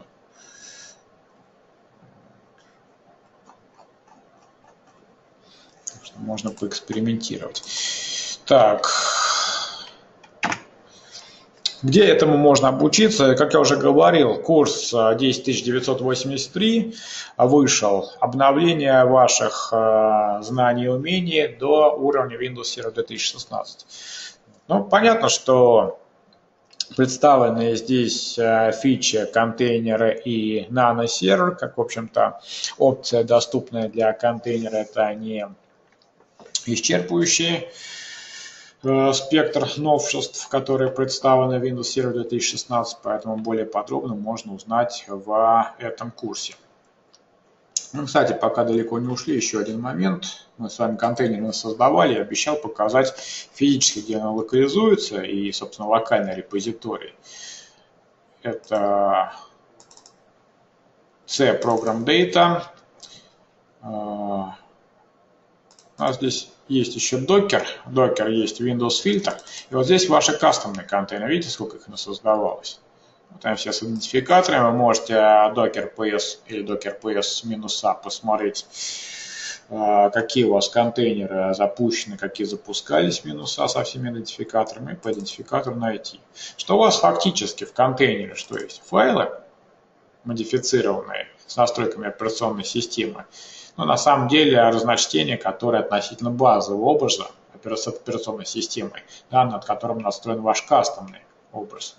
Вот это кастомные образы. И ули реестра, который включает все изменения, сделанные с момента последнего образа, а, на, на базе которого настроен вот этот. Базовые образы, над которыми настроя, надстраивается вся ваша вереница от одного до нескольких кастомных образов, они хранятся вот здесь.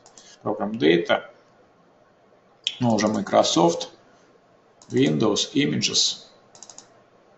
Вот у вас базовый образ. В принципе, в принципе, мы можем и в MSDN есть автономно установить. Если у вас компьютер э, хостовый компьютер, хост по отношению к контейнерам не подключен к интернету, вы можете с любой другой рабочей станции, которая в интернет подключена, скачать из репозитория, скачать из репозитория образ, базовый образ, и сохранить его. Но чтобы скачать, у вас есть save container image команда. Да, то есть немножко возвращаясь к теме. У вас есть команда.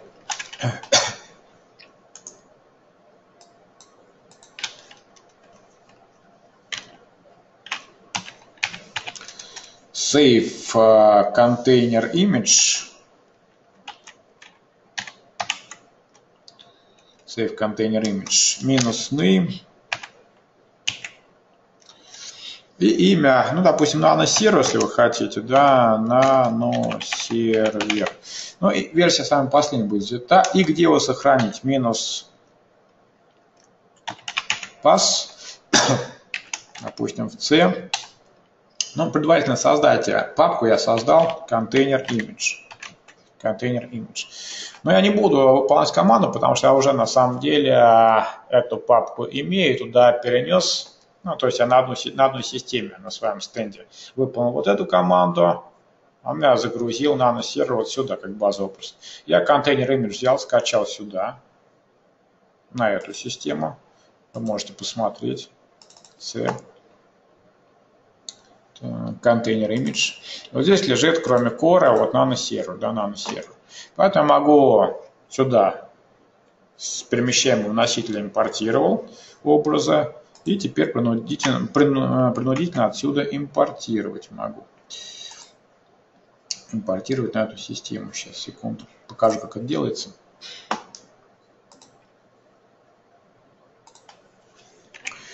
Для того, чтобы импортировать э, обратно команду install, install container OS image,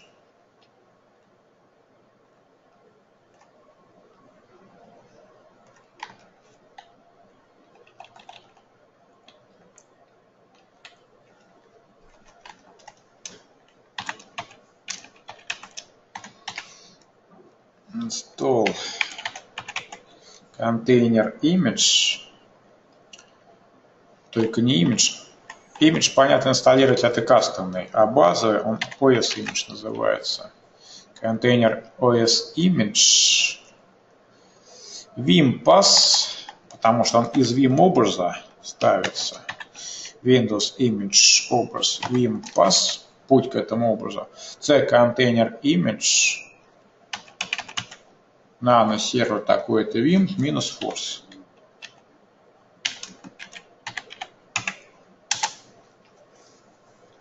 Ну, таким вот образом. Ну, а какое-то время будет сейчас прописываться, копироваться из указанного местоположения вот сюда. Вот. То есть отсюда vim файл будет копироваться куда? В C, программ data, программ data, docker, не Docker, естественно, а Microsoft, Microsoft Windows Image. Вот он создается, видите, создался. И он потихоньку будет обрастать файлами, в том числе дисками, файлами жестких дисков. Таким вот образом. Ну а в дальнейшем, в общем-то, будет все то же самое. У вас появится образ, вы его также тегируете, а, пометите тегом latest, и дальше будете из репозитория Microsoft, Microsoft Search Docker, а, Docker Search Microsoft, смотреть, какие настройки у вас там нано-сервером есть. Ну, он так и обзывается Microsoft slash nano-сервер. Ну, собственно, в остальном то же самое, только функциональность у него еще уже. То есть он не все приложения нано-сервер поддержит, но Opus предоставляет ядро нано-сервера для настройки своих кастомных контейнеров со своими приложениями, которые умеют работать именно с нано-сервером.